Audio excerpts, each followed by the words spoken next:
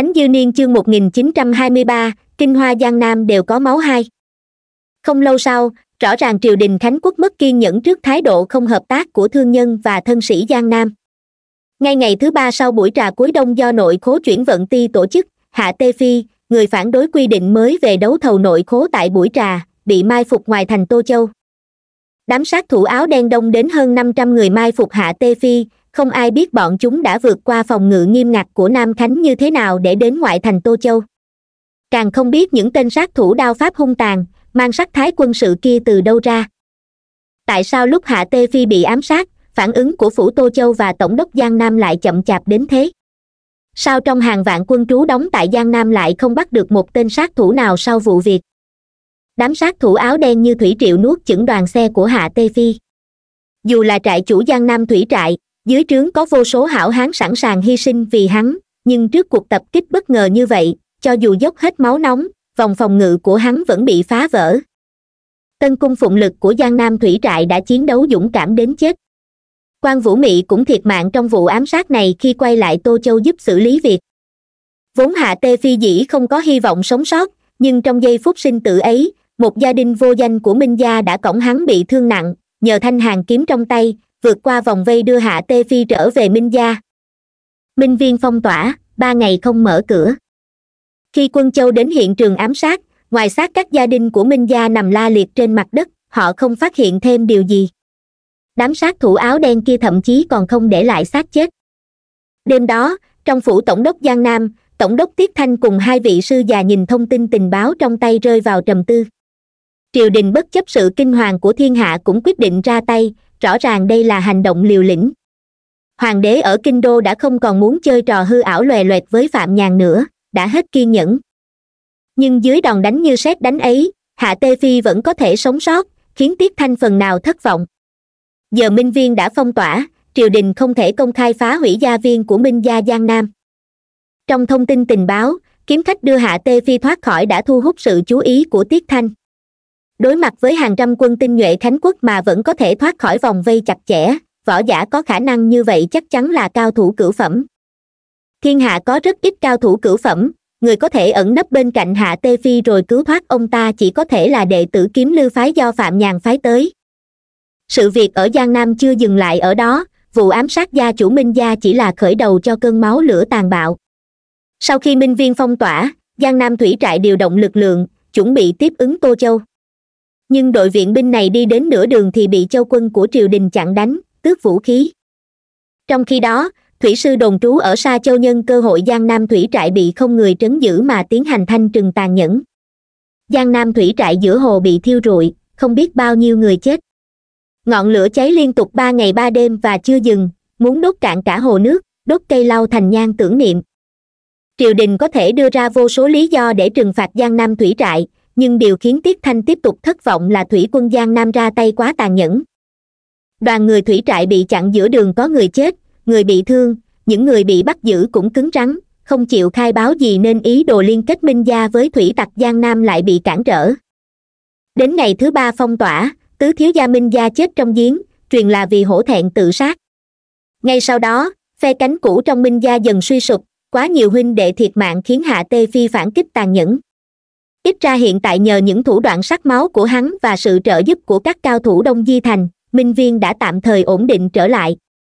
Triều đình dùng thủ đoạn này đối phó với đại thương gia minh gia giang nam, ảnh hưởng xấu thực sự rất lớn, rất dễ gây xáo trộn tâm tình nhân dân giang nam, cũng khiến các thương nhân khác mất niềm tin vào triều đình.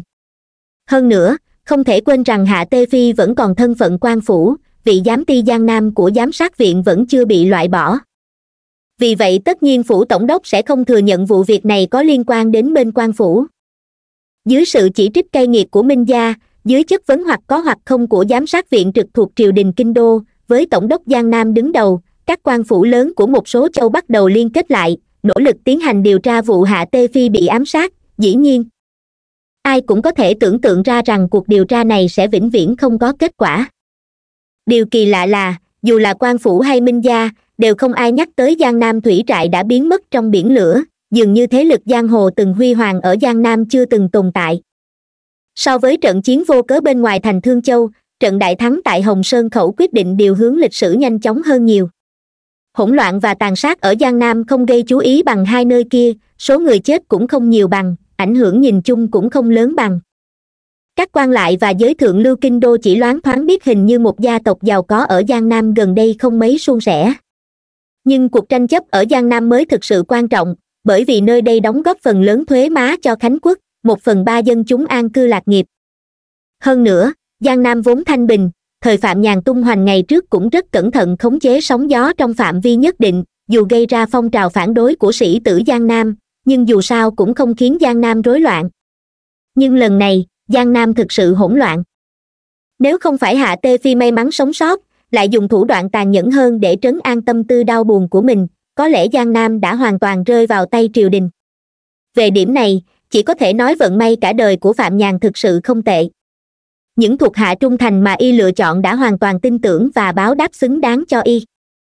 Giữa hoàng đế bệ hạ và phạm nhàn nổ ra chiến tranh lạnh, nhưng ở ba địa điểm quan trọng của thiên hạ đã biến thành chiến tranh nóng, còn trừ ba nơi đó ra, ngoài thành dĩnh châu cũng xảy ra một sự việc chỉ có điều sự việc này không thu hút nhiều sự chú ý. Chủ quan nội khố chuyển vận ti tô văn mậu bị triều đình tước bỏ chức vụ, áp giải về kinh đô chịu xét xử, đi ngang qua dĩnh châu. Khi đoàn xe ngục chở tù nhân vừa ra khỏi thành dĩnh châu thì bị một nhóm sơn tặc tấn công. Hôm đó, các quan bộ hình chịu trách nhiệm áp giải tử vong vô số, còn tô văn mậu bị chặt đứt một cánh tay, cuối cùng sống chết không rõ, hạ tung tích bạc vô âm tính. Sơn tặc dĩnh châu năm đó, thực ra chính là quan vũ mị năm ấy ta xuôi thuyền xuống giang nam nhóm đầu tiên ta tiếp xúc chính là cô ấy rồi qua mối quan hệ của cô ấy ta mới tìm được minh thất thiếu gia tức là hạ tê phi. Ngày 28 tháng 12 năm khánh lịch thứ 10, tin tức từ giang nam cuối cùng cũng đến được phạm phủ qua con đường của bảo nguyệt lâu. Phạm nhàn nhìn tờ tin tức trong tay im lặng một lúc rồi nói giang nam thủy trại âm thầm được khuất phục trọng tâm của hàng châu vẫn luôn ở dĩnh châu cảnh tượng thê lương sau khi sông lớn vỡ đê năm đó đã không còn nay tri phủ dĩnh châu là lương quan do ta tự tay lựa chọn, làm sao lại có thể xuất hiện nhiều sơn tặc đến vậy? Phạm nhàn mỉm cười, nụ cười có phần buồn bã, quay đầu nhìn lâm uyển nhi rồi nói, hai vợ chồng chúng ta vất vả bao năm, cuối cùng vẫn không bằng bệ hạ không nói lý chém giết lung tung một trận. Năm đó khi phạm nhàn đi ngang qua dĩnh châu vào giang nam, phát hiện nơi đây đời sống khốn khó.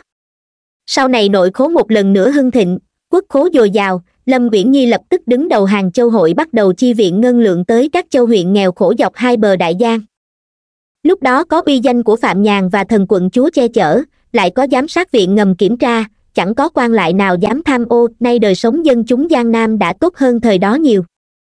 Kiếm lư phái tổng cộng sáu người xuống giang nam, trong nội khố ta để lại ba người, bởi vì đó là nơi then chốt, còn ba người chủ yếu phụ trách an toàn của hạ tê phi và tô văn mậu ta không muốn những người theo ta đều bỏ mạng.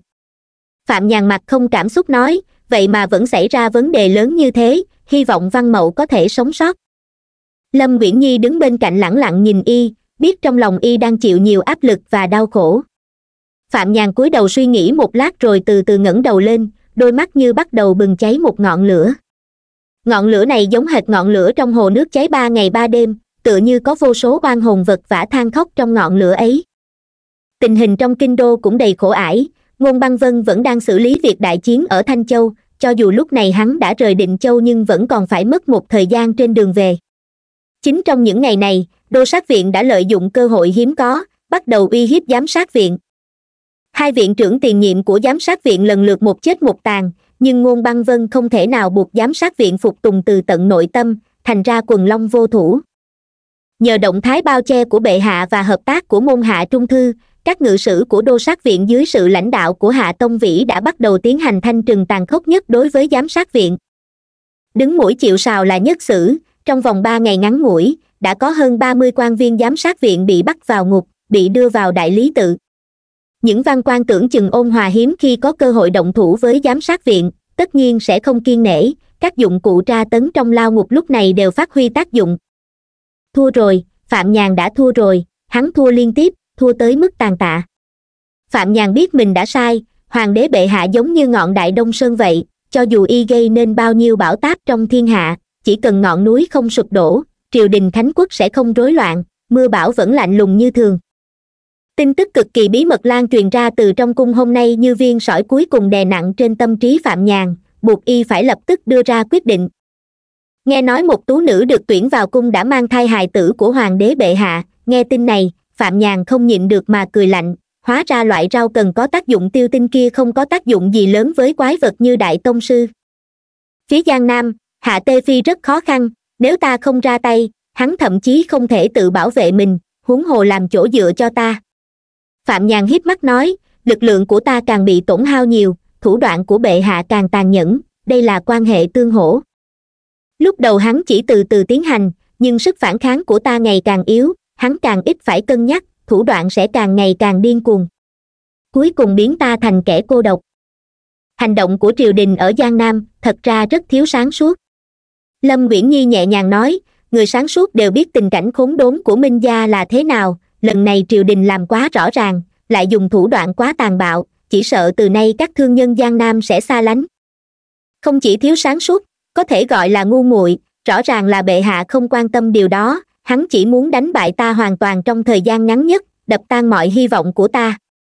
Vẻ mặt phạm nhàn đờ đẫn, không hiểu sao, như thể hắn cũng có phần hấp tấp.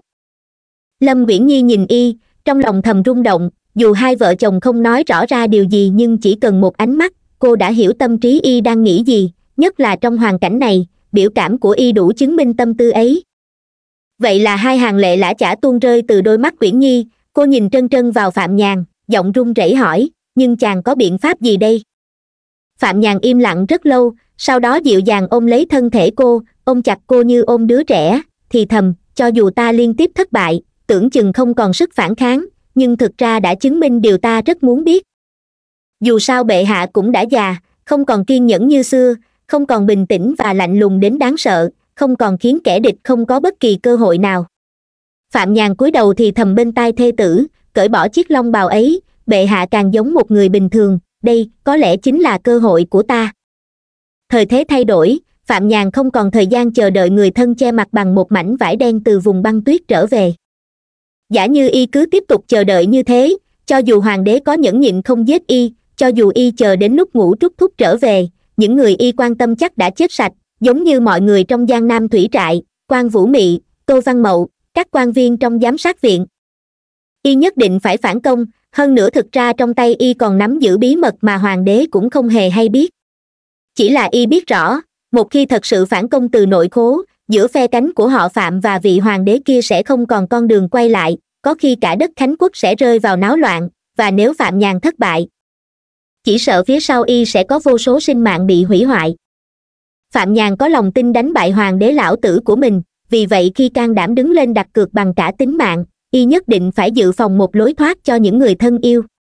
Sau cơn mưa thu ấy, y không còn quan tâm đến sinh tử của bản thân, nhưng vẫn quan tâm đến sinh mạng người khác. Qua một ngày tết vô cùng vô vị, ăn tạm vài cái sủi cảo, phạm nhàn nhốt mình trong thư phòng, nhốt đến bảy ngày liền, cho đến mùng bảy y mới bước ra khỏi thư phòng. Toàn bộ mọi người trong phủ đều chờ bên ngoài thư phòng. Lâm nguyễn nhi đứng bên cạnh lo lắng nhìn y tư tư bưng chén canh sâm đến đưa vào tay y phạm nhàn cầm lấy chén canh sâm uống một hơi cạn sạch rồi cười nói, trong bốn đại nha hoàng theo ta từ đạm châu, vẫn là canh của nàng nấu ngon nhất. Tư tư giật bắn cả người, đột nhiên cảm thấy có điềm gỡ nhưng vẫn cắn chặt môi, không nói gì. Cô tin tưởng thiếu gia mà lớn lên bên mình lên không phải kẻ tầm thường, dù gặp hoàn cảnh khó khăn thế nào cũng có thể dễ dàng vượt qua, như hai mươi năm qua vậy. Hôm nay mùng bảy, thái học mở cửa. Sau khi rửa mặt lâm nguyễn nhi sửa soạn y phục cho y, đưa y ra tận cổng chính phủ đệ, suốt dọc đường tay cô run rẩy. Ánh nắng ban mai xuyên thủng tầng mây lạnh lẽo bao phủ kinh đô đã lâu, chiếu rọi xuống mặt đất giá lạnh. Lâm nguyễn nhi ngơ ngẩn nhìn gò má tuấn tú của phạm nhàn, không biết về sau còn có thể thấy lại hay không, bỗng nhận ra trên thái dương y mọc một sợi tóc bạc, lấp lánh dưới ánh bình minh, tim cô nhói đau. Cô cố giữ bình tĩnh hỏi nghĩ suốt bảy ngày, có nghĩ ra được điều gì không? Phạm nhàn thở dài, trở lại vẻ uể oải và bất lực như lúc mới đặt chân đến kinh đô, cười đáp, hy vọng bảy ngày có thể nghĩ ra cách thành đại tông sư, nàng bảo ta có quá ảo tưởng không? Lâm nguyễn nhi che miệng cười nói, thật sự rất ảo tưởng. Năm trước nhờ đới công công dân thư vào cung đã có hồi âm, bệ hạ cho ta vào cung chiều nay. Phạm nhàn đau xót nhìn thê tử một cái, nói, xưa nay bệ hạ vẫn thương nàng, tuổi tác lại đã cao, chắc sẽ không làm khó dễ nàng đâu nếu ở kinh đô không thoải mái, quay về đạm châu đi, bệ hạ cũng phải nể mặt nải nải. Lâm nguyễn nhi vẫn che miệng cười hỏi, thiếp lười không muốn đi, ở nhà chờ chàng thôi. Nhưng mà chàng có thực sự nghĩ ra cách gì không? Phạm nhàn nhún vai, nói với giọng du côn vô lại, có cách nào đâu? Toàn thân bệ hạ không hề có sơ hở. À nhớ ra rồi, có người họ hùng từng nói, nếu toàn thân không có sơ hở, vậy chính con người đó là chính là sơ hở lại nói đùa nữa rồi. Lâm viễn nhi che miệng cười cười đến sắp ho ra nước mắt. Vốn đang nói đùa mà. Phạm nhàn cúi xuống hôn nhẹ lên trán uyển nhi rồi không quay đầu lại leo lên xe ngựa. Nhìn bóng chiếc xe ngựa chạy về hướng đường đông xuyên của thái học, nụ cười trên mặt lâm uyển nhi lập tức biến thành vẻ buồn bã. Cô hạ xuống tay áo che miệng, trên tay áo trắng có hai vết máu. Bảy ngày qua cô sống rất cực khổ, bệnh cũ tái phát, đau đớn vô cùng khổng viết xã nhân, mạnh viết lấy nghĩa, chỉ cốt nghĩa tận, nên mới thành người. Đọc sách thánh hiền, học hỏi, mong sao khỏi hổ thẹn. Từ xưa chí sĩ, muốn truyền đại nghĩa khắp thiên hạ, không vì thắng bại lợi hại mà lay chuyển lòng người. Giọng bình tĩnh đến lạnh lẽo vang lên trước cái hồ nhỏ kia, hơn trăm đệ tử thái học im lặng nghe tiểu phạm đại nhân giảng dạy. Nhiều người cảm nhận được tâm trạng kỳ lạ của tiểu phạm đại nhân hôm nay, vì hôm nay dường như y rất thích đùa cợt nhưng những lời đùa ấy không hề buồn cười. Nhiều người nhận ra tiểu phạm đại nhân đang có tâm sự. Hồ đại học sĩ đứng dưới tàn cây lớn, lẳng lặng nhìn cảnh tượng này, lòng thầm an ủi vì cho rằng mình biết tâm sự của phạm nhàn nằm ở đâu. Hôm nay là mùng bảy, thái học khai giảng ngày đầu tiên và buổi chiều bệ hạ sẽ triệu phạm nhàn vào cung. Giới quan lại trong triều đình khánh quốc đều biết lần này vào cung là phạm nhàn chủ động yêu cầu, nên hồ đại học sĩ tất nhiên cho rằng dưới những đòn tấn công liên tiếp của bệ hạ, trước thành tựu vĩ đại của khánh quốc, phạm nhàn đã nhận thua. Nghĩ đến sau này quân thần khánh quốc đồng tâm hiệp lực, phụ tử đồng lòng, thống nhất thiên hạ, một mảnh hòa hợp, hồ đại học sĩ cảm thấy vô cùng an ủi, thậm chí còn không chú ý nghe nội dung bài giảng của phạm nhàn hôm nay. Khổng không phải người mạo danh vương lực hoành, cũng chẳng phải khổng minh quạt cái quạt, càng không hàm ý muốn đục lỗ. Còn mạnh từng ta không ưa người này lắm bởi hắn quá ham thích tranh luận, có phần giống ta. Phạm nhàn cười nói với hơn trăm đệ tử thái học bên hồ, hắn cũng chẳng quan tâm các học sinh có nghe hiểu hay không. Trên đời này quả thật có kinh sử tử tập, nhưng không có khổng tử, mạnh tử, thậm chí nhiều hiền triết khác. Có lời nói về nhân nghĩa, nhưng hiếm ai giải thích rõ ràng như khổng phu tử. Chuyện vì nghĩa mà hy sinh tính mạng, thỉnh thoảng vẫn phải làm, nhưng ta không phải loại người đó, ta luôn sợ chết. Nói xong tất cả học trò thái học đều bật cười, cảm thấy trong bài giảng lộn xộn của tiểu phạm đại nhân hôm nay, cuối cùng cũng có một câu đùa hiểu được. Nhưng mà, vẻ mặt phạm nhàn đột nhiên trở nên lạnh lùng, chờ mọi người im lặng rồi từ tốn nói, người khác thú cầm ở chỗ nào? Chỉ trọng nghĩa mà thôi ư? Chưa chắc. Bản năng con người là tránh chết, tìm sống, nhưng đáng kính ở chỗ đôi lúc vẫn có thể hùng hùng hy sinh. Tại sao hy sinh? Tất nhiên vì còn có điều gì đó quan trọng hơn sinh tử trên đời này. Điều đó vẫn chẳng liên quan gì đến ta. Y lại cười, nhưng chung quanh im phăng phắc, ai nấy đều cảm nhận được điều gì đó bất thường, không có học trò nào cười theo. Ta luôn nghĩ không có gì quan trọng hơn sinh tử của bản thân, nhưng sau này nhận ra, khát vọng của con người thật đáng kinh ngạc, quyền tự chủ của con người thật đáng kinh ngạc. Phạm nhàn im lặng một lúc rồi nói, vì sao không chọn cách chết đi thật hài lòng với bản thân không hối tiếc, dù đó là lời nói tầm thường, nhưng rất thực tế. Một đời người nên sống ra sao? Phạm nhàn nhìn khắp bốn phía, đưa ra câu hỏi này. Tất nhiên chẳng ai trả lời, một hồi im lặng sau, giọng nói của y vang vọng trong không gian yên tĩnh của thái học.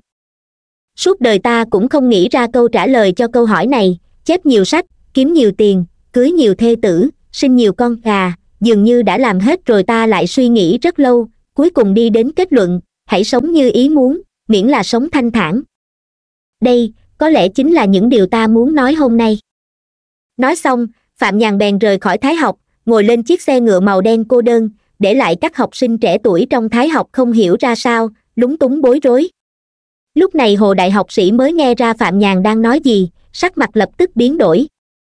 Hồ đại học sĩ vội vã rời thái học, chạy về phía hoàng cung, lúc này trời vẫn còn sớm, mãi đến chiều phạm nhàn mới được vào cung ông hy vọng còn kịp nói với hoàng đế bệ hạ điều gì đó, khuyên can điều gì đó, ngăn cản điều gì đó xảy ra. Những lời nói lung tung của phạm nhàn tại thái học được truyền đi trong thời gian ngắn nhất, không cần ai đẩy đưa, thực tế là những người tinh tế trong kinh đô luôn chờ đợi phản ứng từ người rảnh rỗi tại kinh đô này. Trái với vẻ gấp gáp của mọi người, phạm nhàn lại rất bình tĩnh. Thời gian vào cung còn sớm, y đến tân phong quán, bắt đầu thưởng thức những thứ hiếm hoi trong ngày đông giá rét hay có lẽ là những thứ cuối cùng được hưởng thụ những cái bánh bao nóng hổi kia, cùng bên cạnh bàn là đại bảo với gương mặt tròn như cái bánh bao. Một đôi đũa dài chọc thủng lỗ mắt bánh bao, lộ ra nhân thịt hấp dẫn bên trong. Phạm nhàn múc nước dùng đổ vào bát trước mặt đại bảo, gấp thịt nhân bỏ lên đĩa của đại bảo. Tiểu nhàn nhàn, ăn đi. Đại bảo cúi đầu tấn công thức ăn, miệng nhai nói hàm hồ nhưng rất kiên quyết, lo sợ phạm nhàn đưa hết đồ ăn cho mình mà bản thân không đủ no phạm nhàn mỉm cười nhìn đại cửu tử, đôi tay xé nhẹ lớp vỏ bánh mịn màng, nhúng vào nước dùng rồi tùy tiện ăn vài miếng. Từ khi nhận chức tại giám sát viện, y rất thích ăn bánh bao ở tân phong quán, và mỗi lần đến đây là có đại bảo đi cùng. Y biết đại bảo chỉ thích phần nhân thịt, không mấy ưa thích vỏ bánh, nên hai huynh đệ phân công hợp lý, ăn uống rất hợp. Nhìn đại bảo đang thích thú tấn công đồ ăn, không hiểu sao trong lòng phạm nhàn chợt thấy xốn sang không biết về sau còn có cơ hội được vui vẻ bên đại cửu ca như thế này nữa không? Y rất thích ở bên đại bảo, bởi chỉ có bên đại bảo, y mới thực sự thả lỏng, có thể kể hết những bí mật về bản thân, quan điểm của mình về thế giới mà không lo ngại đối phương phản bội. Sau hôm nay e rằng khó có thể cùng đại bảo ngồi ăn bánh bao, cũng khó có thể nằm trên mũi thuyền cùng đại bảo, ngắm bầu trời đầy sao, bàn luận về bầu trời khánh quốc và bầu trời thế giới kia sao lại kia giống nhau đến thế? Phạm nhàn vẫn mỉm cười động viên nhìn đại bảo, nhưng trong lòng thở dài, có phần không biết mùi vị. Y với tay lấy khăn bên bàn lau sạch dầu mỡ trên tay, khẽ quay đầu, nhìn qua lan can tầng hai tân phong quán, thấy hai nha môn đối diện. Đại lý tự và chi nhánh đầu tiên của giám sát viện đều nằm ngay đối diện tân phong quán. Hôm nay mùng bảy, cũng là ngày đầu tiên quan lại triều đình làm nhiệm vụ sau khi sang năm mới, ngoài việc quan viên các cục tới lui chúc tụng và tặng quà lì xì thực ra không có chính sự gì quan trọng cần giải quyết. Trong mỗi nha môn, đa phần chỉ uống trà nói chuyện phiếm từ quan viên cao cấp đến thư lại cấp thấp, ai cũng cầm ấm trà, cắn hạt dưa, tán gẫu chuyện vui, rất nhàn hạ. Đây là thói quen chung của giới quan lại, ngay cả bên trong cung cũng biết, dù sao cũng là không khí năm mới. Vì trực vụ rất nhàn, không có việc gì làm, nên tan sở cũng sớm hơn. Mặt trời vẫn còn khuất sau đám mây lạnh chưa lên đến giữa trời thế mà từ đại lý tự đối diện đã có nhiều quan lại đi ra, gặp gỡ quan lại các nha môn đang chờ sẵn trước cửa rồi tản ra đường phố như chim như thú, không rõ sẽ đi đâu thưởng thức món ngon kinh đô. Ngày trực đầu tiên mà uống rượu giữa trưa cũng không phải tội lỗi gì, thậm chí say xỉn buổi trưa là có thể trực tiếp về nghỉ ngơi. Khác với đại lý tự, cửa nha môn chi nhánh giám sát viện vẫn đóng chặt, u ám hơn nhiều, không thấy quan lại ra vào, càng không có ai rảnh rỗi đi lại một bầu không khí ủ rũ áp lực bao trùm nơi đây. Phạm nhàn im lặng nhìn khoảng sân quen thuộc từng là nơi y làm mưa làm gió, hiểu rõ vì sao như vậy. Hiện giờ, giám sát viện đang chịu cảnh mưa gió khốn khổ, địa vị trong triều suy giảm ngàn trùng. Đặc biệt là tháng trước, nhiều quan lại giám sát viện bị bắt vào bộ hình và đại lý tự với các cáo buộc vô lý. Dù biết rõ đô sát viện đứng sau cuộc thanh trừng, giám sát viện dường như đã mất đi ma lực xưa kia không thể tập hợp sức mạnh để phản công mạnh mẽ nhất. Bên này suy thoái, bên kia hưng thịnh. Dưới sự dẫn dắt của hạ tông vĩ, hệ thống ngự sử dần áp đảo hồ đại học sĩ, bắt đầu lãnh đạo toàn bộ hệ thống quan văn tấn công giám sát viện. Không biết bao nhiêu quan lại giám sát viện phải chịu hình phạt khổ sai trong ngục tối. Khánh quốc bây giờ đã không còn là khánh quốc xưa kia dưới thời lão thọc nữa. Trên cầu thang vọng lại những tiếng bước chân vững chãi cùng tiếng cười tự tin lấy, khoảng bảy tám quan viên từ lầu dưới đi lên, xét theo phục sức đều là những quan lớn có phẩm cấp, chỉ có điều bọn họ không lên tầng ba gian nhã, mà theo phía đông đi thẳng đến cái lan can, sắp sửa treo bình phong ở đó ngồi ngắm phố. Xưa nay phong tân quán cũng chẳng nổi tiếng, tuy nằm đối diện đại lý tự và giám sát viện, nhưng các quan hay khinh miệt nơi này đẳng cấp thấp, dù là trong nhã gian cũng không có cô nương hầu hạ, cho nên thà chạy xa hơn, đến sau này phạm nhàn thường lui tới đây ngồi lan can ăn bánh bao thịt nâng cao danh tiếng tân phong quán. Chuyện phong nhã từ đó có thêm một thứ nữa.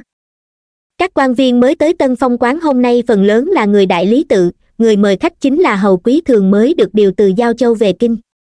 Đám người đại lý tự biết hắn từng là một trong phạm môn tứ tử, nay đã hạ mình theo phe hạ đại học sĩ tên tuổi ngang với mình ngày trước, nên mới được điều thẳng vào đại lý tự, thời thế thay đổi khiến người ta thổn thức. Đám quan viên thấy hầu quý thường phản bội phạm nhàn bên trong thầm kinh bỉ, song trên mặt không ai dám lộ ra. Hôm nay hầu quý thường mới vào đại lý tự, tất nhiên phải dẫn đi chiêu đãi ở tân phong quán. Để lấy lòng hạ đại học sĩ, ngay cả phó khanh đại lý tự cũng tự mình tới. Đến bên lan can, các quan sắp ngồi xuống thì chưa kịp treo bình phong đã thoáng thấy một bàn kia, trên đó chỉ có ba người, một hộ vệ hẳn đã ăn xong đang cảnh giác nhìn quanh, đối diện là tên béo đang cúi đầu gặm nhấm gì đó, còn người kia quay lưng về phía họ mặc trang phục bình dân, ngẩng đầu nhìn ra đường phố. Chỉ thấy bóng lưng ấy mà tất cả đã giật mình kinh hoàng. Lúc này, thân thể hầu quý thường cứng đờ, hai tay lộ ra ngoài quan phục run rẩy, như gió lạnh từ ngoài hiên xâm nhập vào trong, chớp mắt đã ăn mòn từng tấc da thịt của hắn.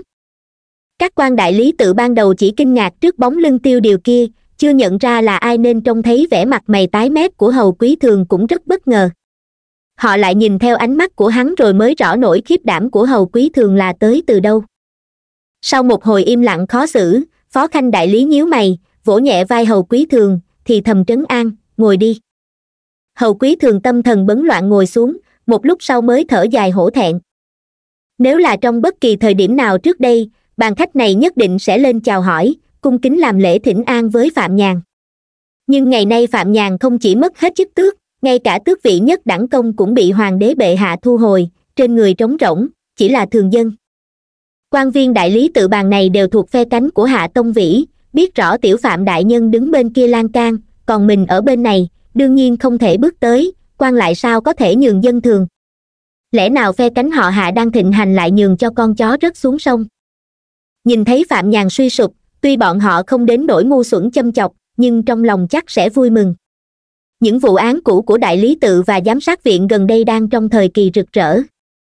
Đây lại là nơi phồn hoa trọng yếu của kinh đô, hoàng đế bệ hạ siết chặt phạm nhàn, chỉ cần bọn họ không chủ động khiêu khích, có lẽ phạm nhàn cũng sẽ không ăn no rửng mỡ mà tự làm mất mặt. Hôm nay không hiểu sao bình phong vẫn chưa được treo mà rượu và đồ ăn đã được bưng lên trước. Đám quan lại đại lý tự tuy hơi bực dọc nhưng trong tình huống này không thể ồn ào, đánh mất thể diện quan viên là chuyện nhỏ còn nếu xảy ra va chạm với ba người im lặng bên kia thì không phải điều họ muốn. Hôm nay một là chào đón hầu đại nhân vào tự, từ nay hầu đại nhân là đồng liêu của chúng ta. Phó khanh đại lý tự mỉm cười, nâng chén rượu. Hầu quý thường miễn cưỡng mỉm cười, cũng nâng chén lên, nhưng trong lòng hoảng loạn. Hắn hiểu vị sư phụ tuổi tác còn trẻ hơn mình. Hôm nay đối phương đột nhiên xuất hiện đối diện đại lý tự, xuất hiện tại tân phong quán, chẳng lẽ chỉ vì thích bánh bao ở đây? Nghĩ vậy, tay hắn lại rung lên, liếc nhìn ba người im lặng bên kia lan can. Hắn biết tên đối diện là huynh trưởng của thần quận chúa. Đại bảo vốn ngu xuẩn, hắn cầu nguyện phạm nhàn không đem hắn theo để gây sự. Phó khanh đại lý tự nhận ra vẻ bất thường của hắn, nhíu mày không hài lòng. Từ khi phó khanh cũ vướng vào âm mưu phản loạn của tần gia, hắn đang thuận buồm xuôi gió, ngay cả giám sát viện cũng phải để ý đến sắc mặt của hắn. Hắn cho rằng mình chẳng có gì phải sợ đúng là phạm nhàn lợi hại, chẳng lẽ còn có thể mắng nhiếc vô lý được à? Phó khanh rõ ràng không hài lòng với thái độ của hầu quý thường, liếc nhìn tên béo đối diện phạm nhàn, đoán ra thân phận đối phương, khóe miệng hơi nhếch lên, ánh mắt đầy khinh miệt. Phạm nhàn thích chơi đùa với tên ngu ngốc kia, điều này người trong kinh đô ai cũng biết, nhưng cũng rất bị quan lại khinh thường. Dù vị phó khanh không dám, cũng không thể mở miệng châm chọc phía bên kia, nhưng nét mặt đã nói lên tất cả. Chuyện thứ hai là chào đón quách đại nhân cuối cùng cũng từ giang nam trở lại, nhậm chức tả đô ngự sử trong đô sát viện. Lời vừa thốt ra, bàn tiệc lập tức náo nhiệt hẳn lên. Chức tả đô ngự sử trong đô sát viện quả thực rất quan trọng, vị đại nhân họ quách kia tự hào mỉm cười, cầm chén rượu cung kính một phen. Nhưng khi ánh mắt hướng về phía bên kia lan can, sắc mặt cũng trở nên khó coi như hầu quý thường. Quách ngự sử họ quách tên tranh, chính là nhân vật muốn trị tội phạm nhàn năm xưa trong phủ kinh đô giờ đây đã nhiều năm trôi qua, có lẽ người kinh đô đã quên mất chuyện cũ, nhưng quách tranh tin chắc phạm nhàn sẽ không quên, bản thân cũng không quên được. Bởi vì trong vụ nội khố giang nam, quách tranh cũng đứng đối lập với phạm nhàn. Chưa đầy ba lượt rượu, ba người ngồi bên kia đã ăn xong trước. Phạm nhàn dắt tay đại bảo đi về phía cầu thang, đằng tử kinh thầm theo sau. Ba người muốn xuống lầu, chắc chắn sẽ phải đi ngang qua bàn tụ tập các quan lại. Đột nhiên quan viên trên bàn bỗng im bặt sắc mặt căng thẳng, chờ vị kia đi qua thật nhanh. Nhưng phạm nhàn không đi, y rất tự nhiên đến bên cạnh bàn, mỉm cười nhìn các quan viên. Thấy tình thế không ổn, phó khanh đại lý tự lúng túng đứng dậy cười, chắp tay nói, hóa ra là tiểu phạm đại nhân, hạ quan. Nói đến hạ quan, hắn mới nhận ra không đúng. Đối phương bây giờ đã bị tước bỏ mọi chức vụ, trên người trống rỗng. Làm sao hắn có thể tự xưng hạ quan được? Phó khanh lúng túng quyết tâm liều mạng, miễn cưỡng cười nói, có muốn ngồi chung không? Phạm nhàn lắc đầu cười. Lúc này hầu quý thường đã hoảng hốt đứng dậy, cúi đầu chào phạm nhàn, mồ hôi lạnh thấm ướt lưng áo. Nhưng phạm nhàn nhìn cũng chẳng liếc nhìn, như thể hắn không hề tồn tại, thái độ coi thường khiến mọi người chung quanh cảm thấy lạnh lẽo. Phạm nhàn không đoái hoài hầu quý thường, nhìn sang tả đô ngự sử mới nhậm chức quách tranh bên cạnh, nhẹ nhàng nói, ba năm trước rất tò mò, sau khi đầy ngươi đến giang nam ngươi ngày đêm bất an. Sau đó kinh đô nổi loạn, rõ ràng ngươi là người phe tính dương, sao không bị trị tội? Sau mới hiểu, ngươi thấy cục diện không ổn, nên vứt bỏ vị nhạc mẫu đáng thương của ta, nhờ vào chút quan hệ cũ trong đô sát viện mà ôm lấy đùi hạ tông vĩ. Phạm nhàn bật cười, lắc đầu thở dài, hạ tông vĩ là gia nô ba họ, ngươi là cỏ mọc trên tường tất nhiên cũng học được mười phần của hắn. Với thân phận hiện giờ của hạ tông vĩ trong triều câu nói đâm thẳng vào tim của phạm nhàn khiến các quan trên bàn đều bật dậy, sẵn sàng quát tháo. Ta nói sai rồi, hạ tông vĩ không phải gia nô ba họ, đối tượng mà hắn phục vụ đều mang họ lý. Phạm nhàn lắc đầu nói, phải nói hắn là con chó trung thành của lý gia mới đúng. Cuối cùng phó khanh đại lý tự nhịn không được nữa, lạnh lùng nói vài câu nhưng phạm nhàn vẫn không hề để ý, chỉ lạnh lùng nhìn quách tranh đang run rẩy kia, hỏi từng chữ một, người có thể về triều nhậm chức tả đô ngự sử chắc hẳn là lập được công lớn ở giang nam. Ta đang tự hỏi, cái chết của những thuộc hạ ta ở giang nam, liệu có liên quan tới ngươi không?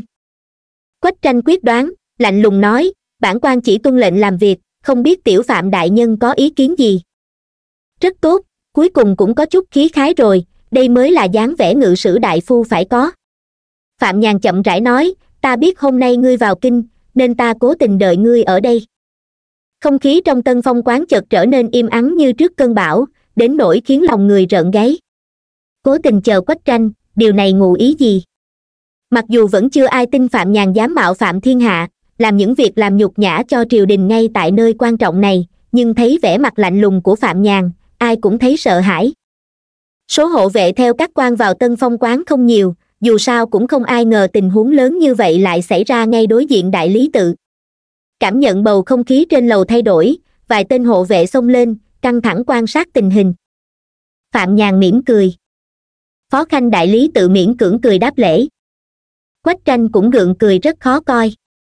Sau đó một dĩa đồ ăn bị đập thẳng vào mặt quách tranh, nước sốt và mảnh sứ văng tung tóe, cùng lúc trên mặt vị ngự sử này bắn ra vô số tia máu, phun ra bốn phía.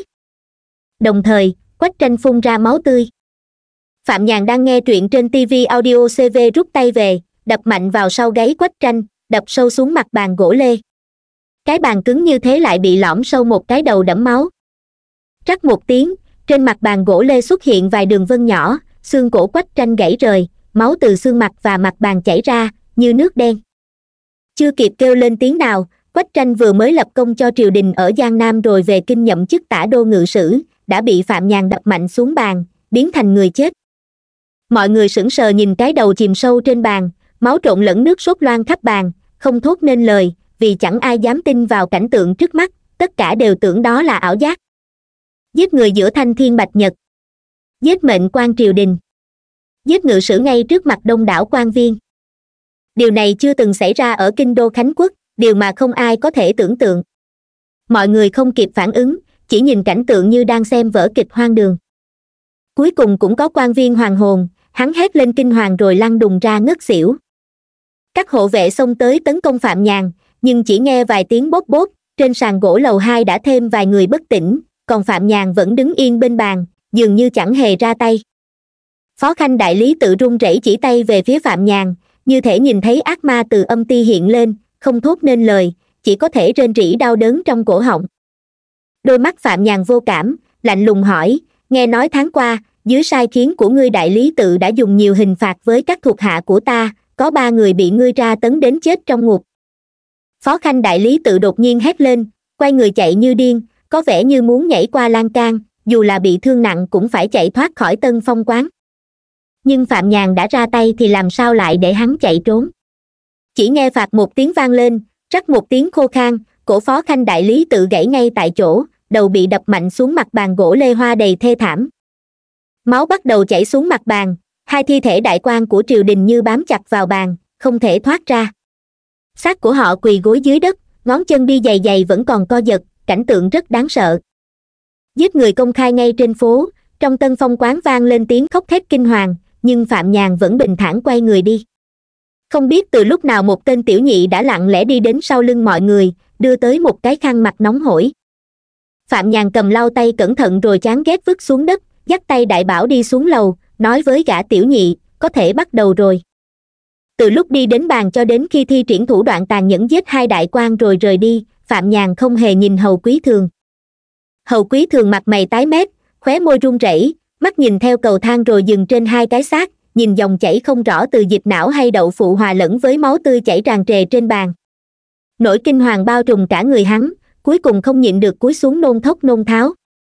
Đưa cửu gia về phủ dưới lầu tân phong quán, phạm nhàn đã đưa đại bảo lên xe ngựa, nói với đằng tử kinh rồi tiễn chiếc xe ngựa màu đen đi về phía nam thành. Bản thân y lại đi về hướng hoàng thành. Phạm nhàn không lo lắng cho an toàn của chiếc xe ngựa quay về nhà, bởi dọc đường có kiếm thủ lục sử bảo vệ. Như đã nói ở tân phong quán, giết người là để báo thù cho các thuộc hạ giám sát viện.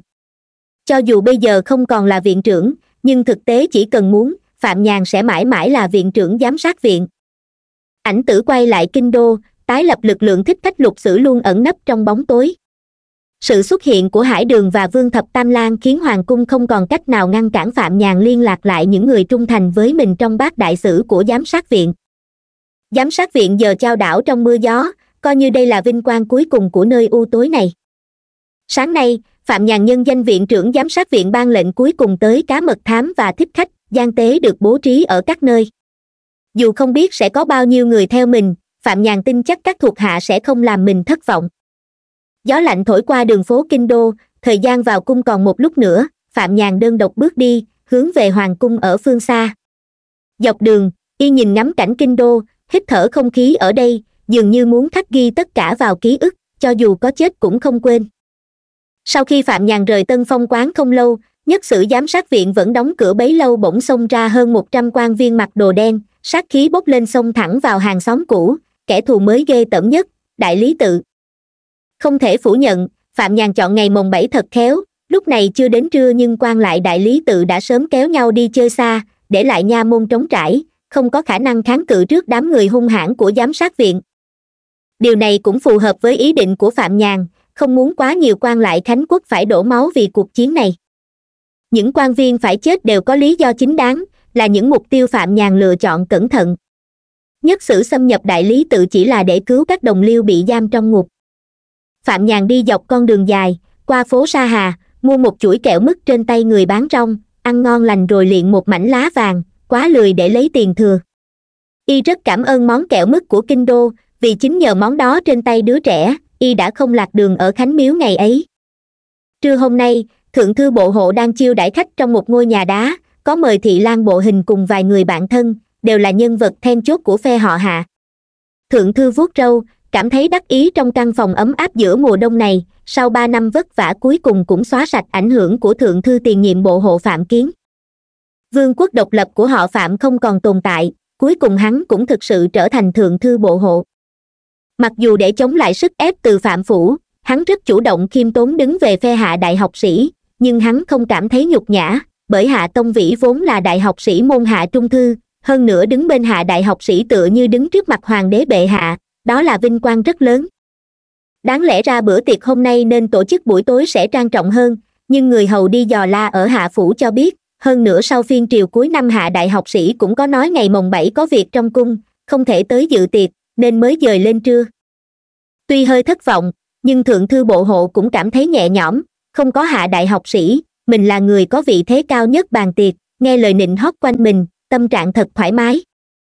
Đặc biệt là nghĩ tới việc vừa nhận ý chí của hạ đại học sĩ, bộ hộ hung hăng can thiệp, chơi đùa tôn kính tu ở kinh đô phủ đến chết, ép ông ta phải từ quan, cuối cùng vẫn không trả được bạc đã luận tội nên bị giam vào ngục, thượng thư bắt đầu cảm thấy thỏa mãn. Dựa vào cái gì mà ganh đua với ta? Chẳng qua nhờ sinh được đứa con gái tốt. Đợi bán con gái hắn ta vào giáo phường ta cũng sẽ bí mật cho nó sướng muốn chết. Trong cơn say, thượng thư cứ miên man với mấy chữ sướng muốn chết không để ý ánh mắt nữ tỳ phục vụ trong phòng ấm lóe lên tia sáng xảo quyệt, độc ác. Đương nhiên thượng thư không biết rằng, chất độc trong rượu ngũ lương mà hắn uống đủ để hắn sướng muốn chết vô số lần. Mùng bảy tháng giêng khánh lịch năm thứ mười, nhất thạch cư gặp hỏa hoạn, phòng ấm sụp đổ toàn bộ, thượng thư bộ hộ, thị lan bộ hình, nhiều quan viên trụ cột phe hạ thiệt mạng trong đám cháy tử vong vì say rượu. Lúc đám cháy bùng phát, phạm nhàn đã ăn hết kẹo mứt, cầm ô vải đen mới mua, đi đến đường thiên hà đẹp đẽ. Y ném que tre dính bã đường xuống hồ trong vắt bên đường, nhún vai, chẳng hề tự trách vì làm ô nhiễm môi trường. Sau đó y liếc nhìn tấm bia đá đen trước cửa giám sát viện đang bị tháo dỡ, và những chữ vàng trên bia càng lúc càng ít đi, nhìn chằm chằm một lúc rồi lắc đầu. Đột nhiên một cơn gió lạnh thổi qua, bông tuyết bắt đầu rơi bông tuyết rơi xuống cổng vắng vẻ của phủ hạ đại học sĩ. Hạ đại học sĩ là người thanh liêm chính trực và căm ghét nhất việc người khác đem quà tặng, nên đã nuôi hai con chó giữ tại cổng phủ. Điều này được nhiều người biết đến. Đây là chiêu thức khởi xướng từ phủ trừng hải tử tước, hay còn gọi là ngôn nhược hải đại nhân, khiến mọi người không khỏi châm biếm hạ đại học sĩ là đã bắt chước ý tưởng của người khác. Có điều, dù thế nào đi nữa, hai con chó dữ này vẫn giúp hắn kiếm được không ít thanh danh trong sạch hai con chó bị những bông tuyết chậm rãi rơi xuống làm cho tức giận, ra sức sủa lên trời. Nhưng tiếng chó sủa vô ích trước tuyết rơi, bông tuyết vẫn rơi xuống chậm rãi và kiên định. Hai tiếng rên rỉ, hai con chó giữ ngã gục xuống đất. Hơn mười thích khách ăn mặc quần áo bình dân, cảnh giác bao vây xung quanh hạ phủ rồi lặng lẽ lẻn vào bên trong. Phạm nhàn nhíu mày nhìn lên bầu trời, mở chiếc ô màu đen che kín tầm mắt mình, che kín bầu trời. Bông tuyết chất đống trên chiếc ô đen tan chảy nhanh chóng, không thể tích tụ lại được, khiến y hơi bất mãn. Cứ đi như vậy, trong lúc không để ý đã tới trước hoàng thành. Y không đứng chờ ở cổng chính mà vòng quanh chân thành, dưới ánh mắt cảnh giác của cấm quân, đi tới bên ngoài một dãy nhà bằng phẳng khá khiêm tốn của môn hạ trung thư. Phạm nhàn đẩy cửa bước vào, phủi bông tuyết trên người và trên đầu, cẩn thận đặt chiếc ô màu đen đẫm nước tuyết xuống cửa, mỉm cười nhìn đám quan lại trố mắt kinh ngạc trong phòng, đã lâu không gặp đang ngồi trên ghế nóng nghiêm túc duyệt tấu chương, Hà đại học sĩ chậm rãi ngẩng đầu lên, liếc nhìn vị khách không mời mà đến, chân mày cau lại. Dãy phòng bằng phẳng dưới chân thành này tuy trông không đáng chú ý, nhưng lại là nơi xử lý công việc quan trọng của môn hạ trung thư. Qua hành lang phía sau là một khoảng sân, có thể trực tiếp vào cung, là nơi hiểm yếu nhất. Việc canh phòng của cấm quân và thị vệ ở đây vô cùng nghiêm ngặt, ngay cả khi phản quân vây cung thời xưa cũng không nghĩ tới việc mở đường tại nơi này bởi vì phía sau môn hạ trung thư vẫn có nhiều lớp tường thành cung điện, bên trong các phòng càng là nơi đầy rẫy hiểm nguy.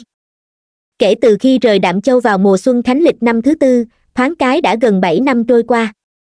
Ngoại trừ việc lưu lại giang nam đức khoảng hai năm, trong thời gian kiếp thứ hai của phạm nhàn, những khoảnh khắc thực sự hào hứng và đáng khắc ghi trong lòng phần lớn đều ở trong kinh đô. Thân phận và thân thế của y hoàn toàn khác biệt so với đại đa số mọi người trong thánh quốc. Y vào cung rất nhiều lần nhẹ nhàng tự nhiên như trở về nhà, cho dù là thân phận đề ti giám sát viện hay thân phận con tư sinh của hoàng đế, đối với y mà nói cung cấm không hề tồn tại. Hôm nay là ngày mồng bảy, phạm nhàn như đi dạo chơi rảo bước tới dãy phòng bằng phẳng dưới chân hoàng cung. Mặc dù vừa qua năm mới, nhưng môn hạ trung thư vẫn rất bận rộn, quan viên từ các nơi đến thảo luận đều ở bên ngoài, không ai chú ý tới một nhân vật cầm ô đen trong tuyết bước vào khu vực trong những cấm quân và thị vệ có nhiệm vụ kiểm tra bị nụ cười ôn hòa của phạm nhàn làm cho choáng ngợp, chỉ biết trơ mắt nhìn y bước vào. Phạm nhàn đến quá tự nhiên, quá hợp lý, khiến tất cả cấm quân và thị vệ quen thuộc với việc vị đại nhân trẻ tuổi này ra vào hoàng cung không hề ngăn cản, trong lúc bất ngờ không kịp phản ứng đã để y xuyên qua tầng tầng canh gác, trực tiếp đến phòng lớn của môn hạ trung thư. Trong phòng lớn có hai bàn sưởi ấm, bên trên rải lộn xộn vài lớp đồ vật, tấu chương từ các nơi chất đầy nghiên mực và giấy viết chất thành đống trên bàn. Đây là trụ sở trung ương triều đình đại khánh nhưng điều kiện làm việc có vẻ không tốt cho lắm. Một số đại học sĩ theo hầu và các thư lại đang bận rộn, cho đến khi phạm nhàn đặt cây dù đen nhỏ dọc nước tuyết xuống. Trong phòng lớn môn hạ trung thư chìm trong im lặng, tất cả mọi người đều sững sờ nhìn phạm nhàn, không biết sao hôm nay vị đại nhân bị bệ hạ trừng phạt nghiêm khắc lại đột nhiên xuất hiện ở đây. Trong lúc phạm nhàn đi dạo trên đường phố kinh đô các quán rượu và các nha môn trong kinh đô đã xảy ra biến động, nhưng thời điểm tấn công lần này rất chính xác. Vào lúc phạm nhàn bước vào phòng lớn môn hạ trung thư, ngọn lửa báo thù tứ phía kinh đô mới bắt đầu bùng cháy, tin tức cũng chưa truyền đến trong cung. Đối với sự xuất hiện đột ngột của phạm nhàn, người phản ứng đầu tiên là phan linh đại học sĩ đang ngồi gần cửa ra vào, hưởng ánh sáng bầu trời từ bên ngoài. Vị đại học sĩ già nua này mở đôi mắt vẫn đục nhìn phạm nhàn, ho nhẹ nói, sao ngài lại đến đây? Từ nhỏ phạm nhàn đã học chữ của phan đại học sĩ, cũng nhờ báo chí của phan đại học sĩ mà kiếm được đồng bạc đầu tiên trong đời. Mặc dù ở kinh đô hai người chưa giao lưu nhiều, nhưng phạm nhàn vẫn luôn tôn trọng lão nhân gia, bèn mỉm cười đáp, hoàng đế bệ hạ triệu ta vào cung chiều nay, vừa đi đến cổng hoàng thành thì đột nhiên tuyết rơi. Chỉ biết đứng ngẩn ngơ dưới trời tuyết cũng vô nghĩa, nên mới đến đây thăm các vị.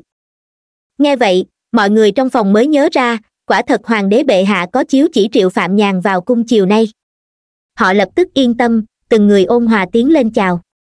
Môn hạ trung thư khác với các nha môn dưới quyền, rất coi trọng thái độ khiêm nhường, uy nghiêm chứ không tức giận, nhất là họ là những quan viên gần gũi hoàng đế bệ hạ nhất. Tất nhiên ai cũng hiểu rõ vị trí thực sự của phạm nhàn trong triều đình, không ai dám xem thường. Hạ tông vĩ đứng dậy sau cùng, bước tới. Thái độ của hắn ta mang theo chút vẻ tự tin vừa xuất hiện, cả phòng lớn môn hạ trung thư lập tức im lặng, ngay cả phan linh đại học sĩ cũng ho khan hai tiếng, con người lui ra.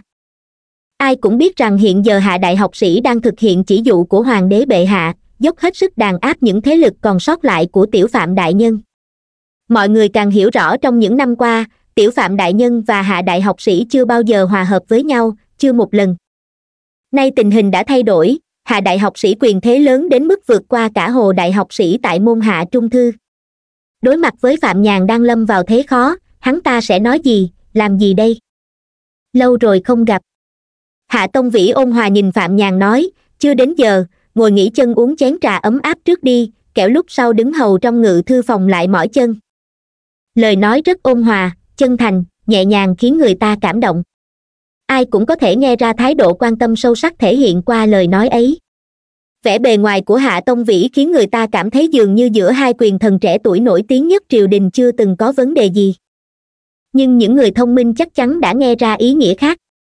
Đây là thái độ khoan dung của người chiến thắng dành cho kẻ thất bại, là thứ quan tâm từ trên cao xuống thấp.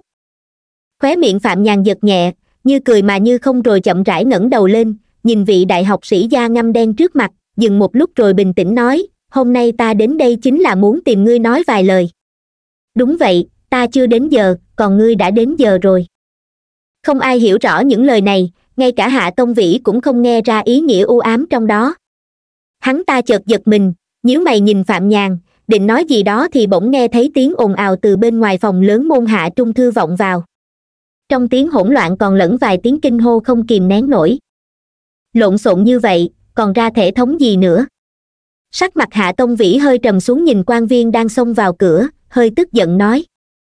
Đại nhân.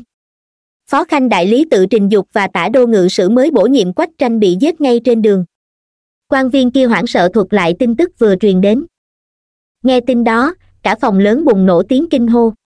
Các quan viên môn hạ trung thư thay hoàng đế bệ hạ quản lý triều đình đại khánh, chưa bao giờ nghe nói chuyện quan lại triều đình bị ám sát ngay trên đường như vậy thân thể hạ tông vĩ cứng đờ. Phó khanh đại lý tự và tả đô ngự sử quách tranh đều là người thân tín của hắn, đặc biệt là quách tranh luôn coi phe phạm nhàn là kẻ thù trong lòng. Ở giang nam, người này đã làm không ít việc lớn cho hạ tông vĩ, lập công cho hoàng đế bệ hạ. Vậy mà vừa mới được điều về kinh, đã bỏ mạng. Trên khuôn mặt ngăm đen của hạ tông vĩ thoáng hiện lên vẻ tái nhợt rồi nhanh chóng phục hồi bình thường. Hắn đột ngột ngẩng đầu lên nhìn chằm chằm vào khuôn mặt tuấn tú của phạm nhàn, đôi mắt hiếp lại, ánh mắt lạnh lùng. Không để hạ tông vĩ lên tiếng, phạm nhàn hơi cúi mắt xuống giữa những tiếng than thở kinh ngạc, nhẹ nhàng nói, thượng thư bộ hộ cũng đã chết, còn có hai thị lan nữa. Đây là danh sách ta đã lập, ngươi xem có bỏ sót ai không? Nói xong, phạm nhàn lấy ra một mảnh giấy mỏng từ trong ngực đưa qua. Cánh tay hạ tông vĩ run rẩy không kiểm soát được vội vàng nhận lấy mảnh giấy, nhìn lướt qua đã thấy hơn mười chức vị quan lại cùng tên tuổi, tất cả đều là người thân cận của hắn. Sau khi phạm nhàn đưa danh sách cho hạ đại học sĩ, cả căn phòng lớn môn hạ trung thư im phăng phắc, yên lặng đến nỗi có thể nghe thấy tiếng kim rơi. Phạm nhàn thoáng vuốt tóc mai, cắm cây kim nhỏ mà y đang cầm trên tay vào mái tóc, bình tĩnh nói, ta không muốn lạm sát người vô tội, nên mong ngươi xác nhận lại xem, nếu đây đều là người của ngươi thì ta yên tâm rồi mảnh giấy đầy tên tuổi bay xuống nền đất, căn phòng im phăng phắc. Lúc này ai cũng biết làn máu đổ trong kinh đô hôm nay đều do tiểu phạm đại nhân gây ra, chỉ không rõ những lời y nói có thật không, hay những quan lại kia đã thực sự chết hết rồi ư. Hạ tông vĩ hiểu rõ phạm nhàn, nên biết y không nói dối. Những chắc hiện giờ cái tên trên giấy kia đã thành oan hồn. Hắn ngẩng đầu lên, trong mắt bừng bừng ngọn lửa oán hận, nhìn chằm chằm vào phạm nhàn. Hắn không hiểu tại sao phạm nhàn lại làm thế chẳng lẽ y không biết việc này chỉ dẫn tới con đường chết? Lúc này hạ tông vĩ lại cảm thấy loáng thoáng hãnh diện, bởi vì chính mình đã ép phạm nhàn vào thế cùng này. Tại sao? Người đâu? Bắt lấy tên sát nhân này. Hai chữ tại sao nặng nề thoát ra, ai cũng tưởng hạ tông vĩ sẽ mắng nhiếc hành động tàn ác của phạm nhàn trước mặt quan lại, không ngờ mới nửa chừng câu nói, hạ tông vĩ đột ngột hét to, bản thân hắn lại lập tức trốn về phía sau các quan vẫn là hạ tông vĩ hiểu rõ phạm nhàn nhất. Đối phương đã không còn sợ chết, giết chóc bốn phương trong kinh đô, chắc chắn có ý định liều mạng. Trước khi vào cung, y còn cố tình đến môn hạ trung thư để lại cây dù, chắc chắn không chỉ đưa danh sách người chết ra để chế giễu mình, mà còn để giết mình. Cho đến lúc này, vẫn chưa ai tin phạm nhàn dám giết người ngay dưới chân hoàng thành, ngay trung tâm uy nghiêm của khánh quốc. Nhưng hạ tông vĩ tin chắc, hắn biết rõ kẻ trẻ tuổi tàn nhẫn trước mặt một khi phát điên y có thể làm mọi chuyện. Vì thế, bất chấp thể diện đại thần, hắn vừa hoảng hốt gọi cấm quân, vừa hốt hoảng chạy trốn về phía sau các đại thần. Phạm nhàn không đuổi theo hắn, chỉ dùng ánh mắt thương cảm và khinh bỉ nhìn động tác của người này, nhìn khuôn mặt tái nhợt sau lưng đám người. Dẫu sao cũng là môn hạ trung thư trước hoàng cung, từ trước khi hạ tông vĩ kêu la, đã có cấm quân và thị vệ đại nội chú ý đến động tĩnh nơi đây. Vừa phát hiện chuyện bất thường mười mấy thị vệ và ba tướng lĩnh cấm quân đã xông vào phòng lớn của hạ thư tỉnh tuốt đao bên hông ra, cảnh giác bao vây phạm nhàn. Cho dù phạm nhàn có lợi hại hơn nữa, cũng không thể tiêu diệt đám thị vệ cung đình vây quanh chỉ trong nháy mắt. Nhìn cảnh tượng này, mọi người an tâm hơn phần nào, còn sắc mặt tái nhợt của hạ tông vĩ sau đám người cũng hồng hào hơn đôi chút. Hắn hét to sau lưng đám đông, mau bắt tên phạm nhân hung ác kia lại.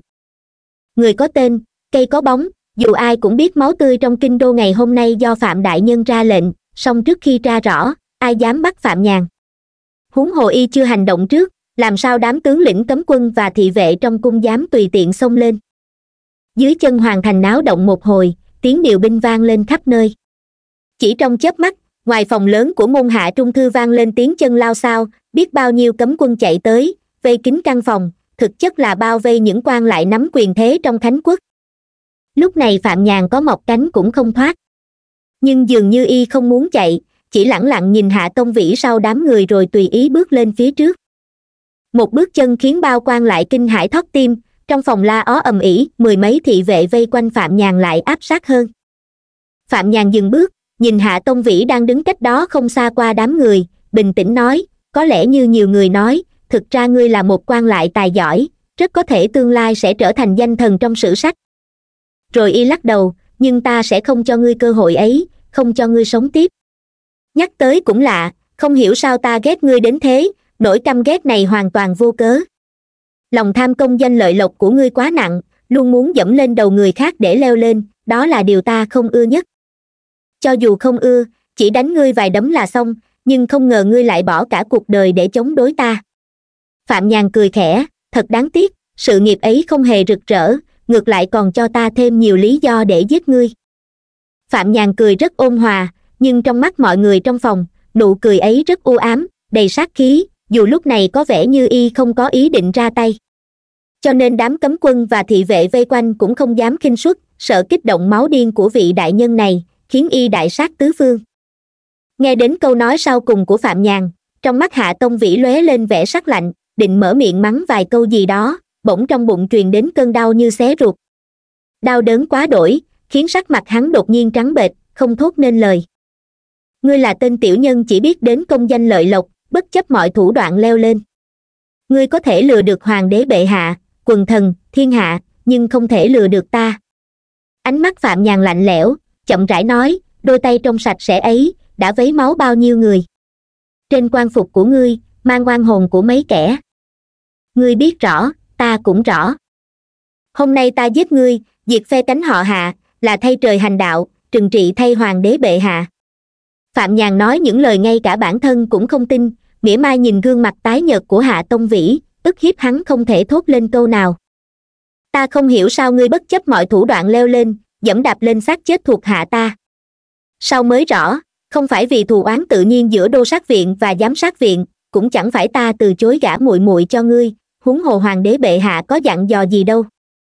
Phạm nhàn thở dài thương cảm, hóa ra tất cả chỉ vì ngươi ganh ghét ta. Văn ngươi không bằng ta, võ ngươi không bằng ta, danh vọng, quyền thế cũng không sánh được. Cho dù ngươi cố gắng thế nào, nuôi nấng mấy con chó đen to lớn, cả đời cũng không thể sánh bằng ta. Chắc ngươi không cam lòng, không phục ta có cha giỏi, mẹ hiền. Nhưng đây là trời sinh, ngươi có gì bất bình? Mồ hôi như hạt đậu rơi xuống từ vầng trán nhợt nhạt của hạ tông vĩ. Hắn trừng mắt nhìn phạm nhàn đầy oán hận, muốn mắng vài câu gì đó nhưng không thể lên tiếng. Hắn đã kiệt sức, ngồi phịch xuống bên cạnh. Đây chính là oán hận vô cớ gây nên đại loạn trong nước ta. Phạm nhàn nhìn chằm chằm hạ tông vĩ, nói từng chữ một, oán hận quá độ sẽ đứt ruột, hôm nay ta sẽ cho ngươi kết cục đau đớn đứt ruột. Mỗi chữ, mỗi câu như mũi dao nhỏ đâm vào tai hạ tông vĩ dù không muốn nghe cũng phải nghe. Hắn biết chắc chắn hôm nay phe cánh của mình đã bị diệt sạch, chắc phạm nhàn còn có hậu chiêu. Nhưng không hiểu sao trước mặt nhiều quan lại như vậy, phạm nhàn lại nói ra những lời vô nghĩa ấy. Các quan viên chết đi cũng được, miễn sao mình còn sống, còn được ân sủng của hoàng đế bệ hạ, về sau vẫn có thể gây dựng thế lực của riêng mình. Nhưng không hiểu sao, những lời nói ấy tựa những con dao nhỏ xuyên qua tai rồi cứ chạy loạn trong bụng mình tại sao chúng cứ cắt xé ruột gan mình, khiến mình đau đớn khốn khổ? Ban cho ngươi một kết cục đứt ruột. Câu nói vừa dứt, không khí trong phòng dưới chân thành cực kỳ căng thẳng. Các quan tản ra khắp nơi, tránh né cơn bão tố phạm nhàn sắp giáng xuống. Đám cấm quân liên tục ùa từ ngoài vào, xếp thành hàng ngũ trắng trước mặt hạ tông vĩ. Đám cấm quân giáp trụ xếp thành trận, khiến căn phòng rộng thênh thang trở nên chật hẹp, căng thẳng nhìn chằm chằm vào phạm nhàn đơn độc. Đúng lúc căng thẳng nhất từ phía đình viện của ngôn hạ trung thư tựa vào tường thành hoàng cung vang lên tiếng hét thảm thiết. Đừng! Hồ đại học sĩ người nước đầy tuyết lao từ hướng hoàng cung tới. Nghe xong bài nói chuyện của phạm nhàn sáng nay, ông biết hôm nay kinh đô sắp có chuyện lớn xảy ra. Nhưng khi vội vàng tới hoàng cung lại bị chậm trễ, chỉ kịp nói vài câu với hoàng đế bệ hạ thì nghe thái giám tâu báo nhiều quan lại trong kinh bị sát hại bí ẩn.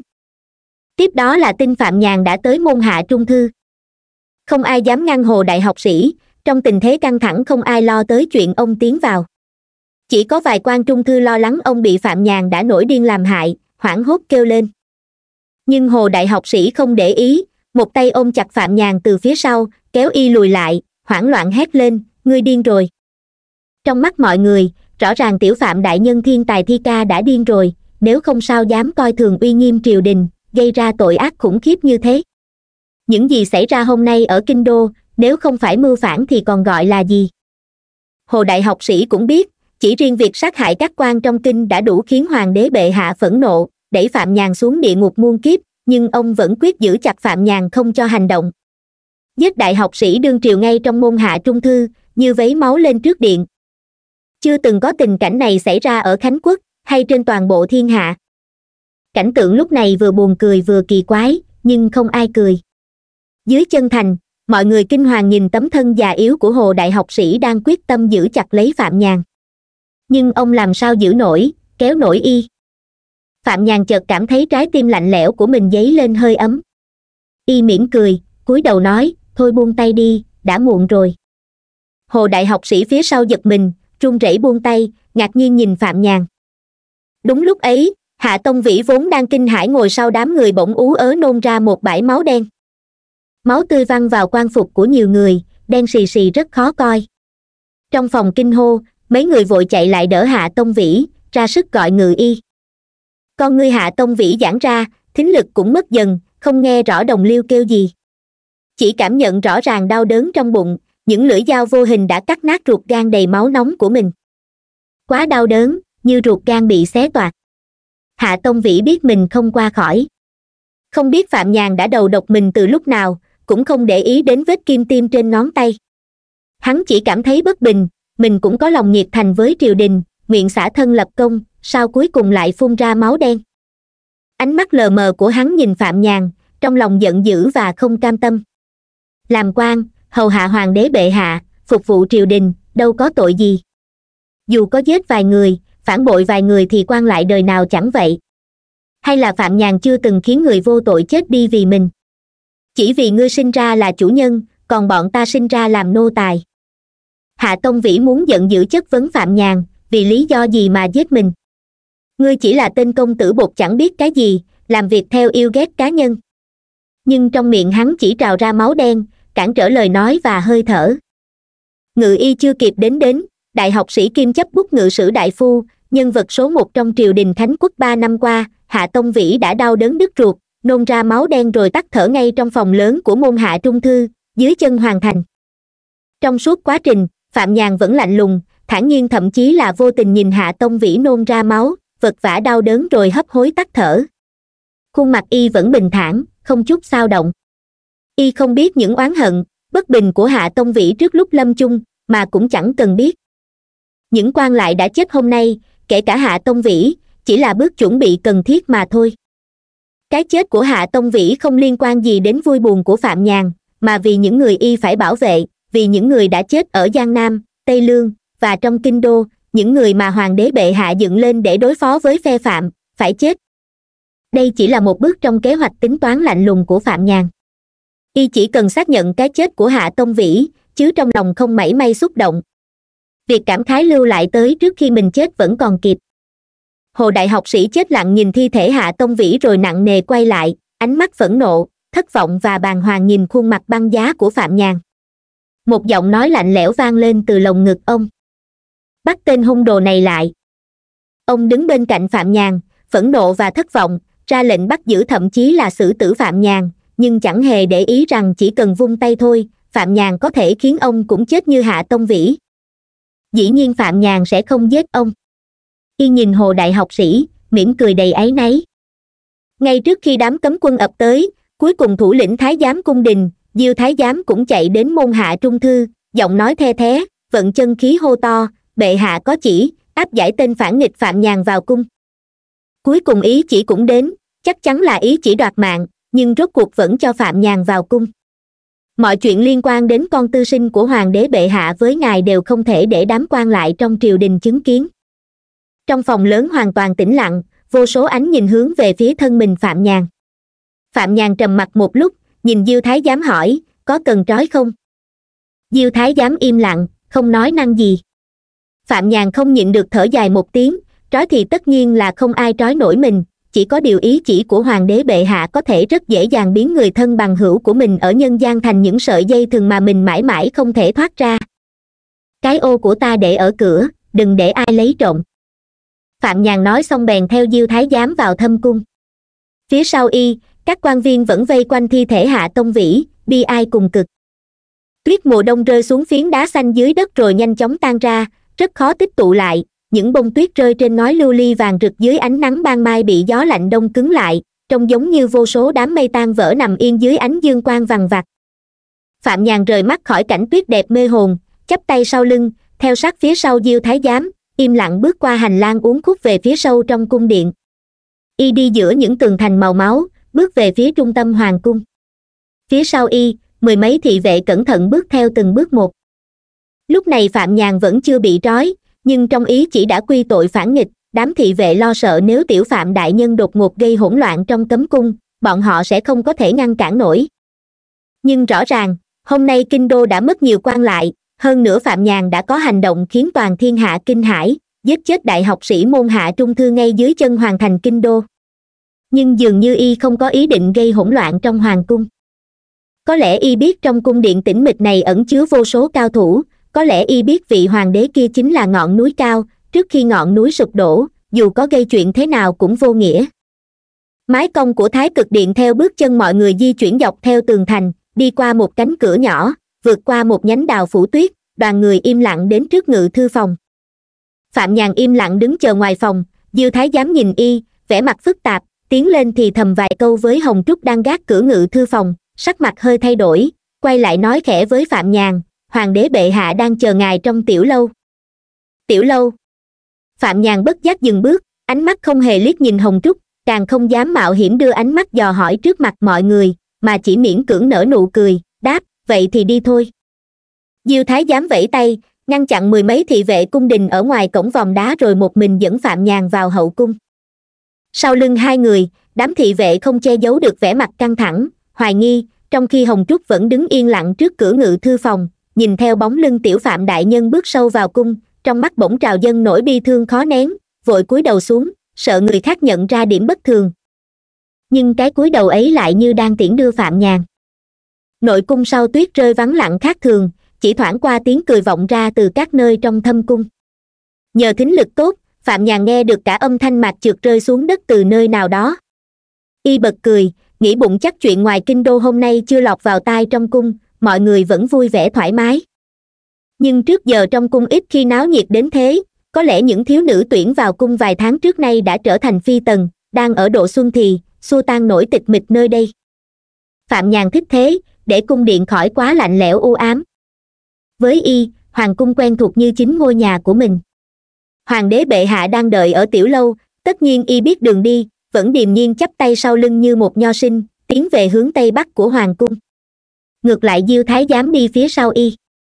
Đến nước này rồi, có gấp cũng vô ích thôi, chắc hoàng đế bệ hạ cũng không nóng ruột.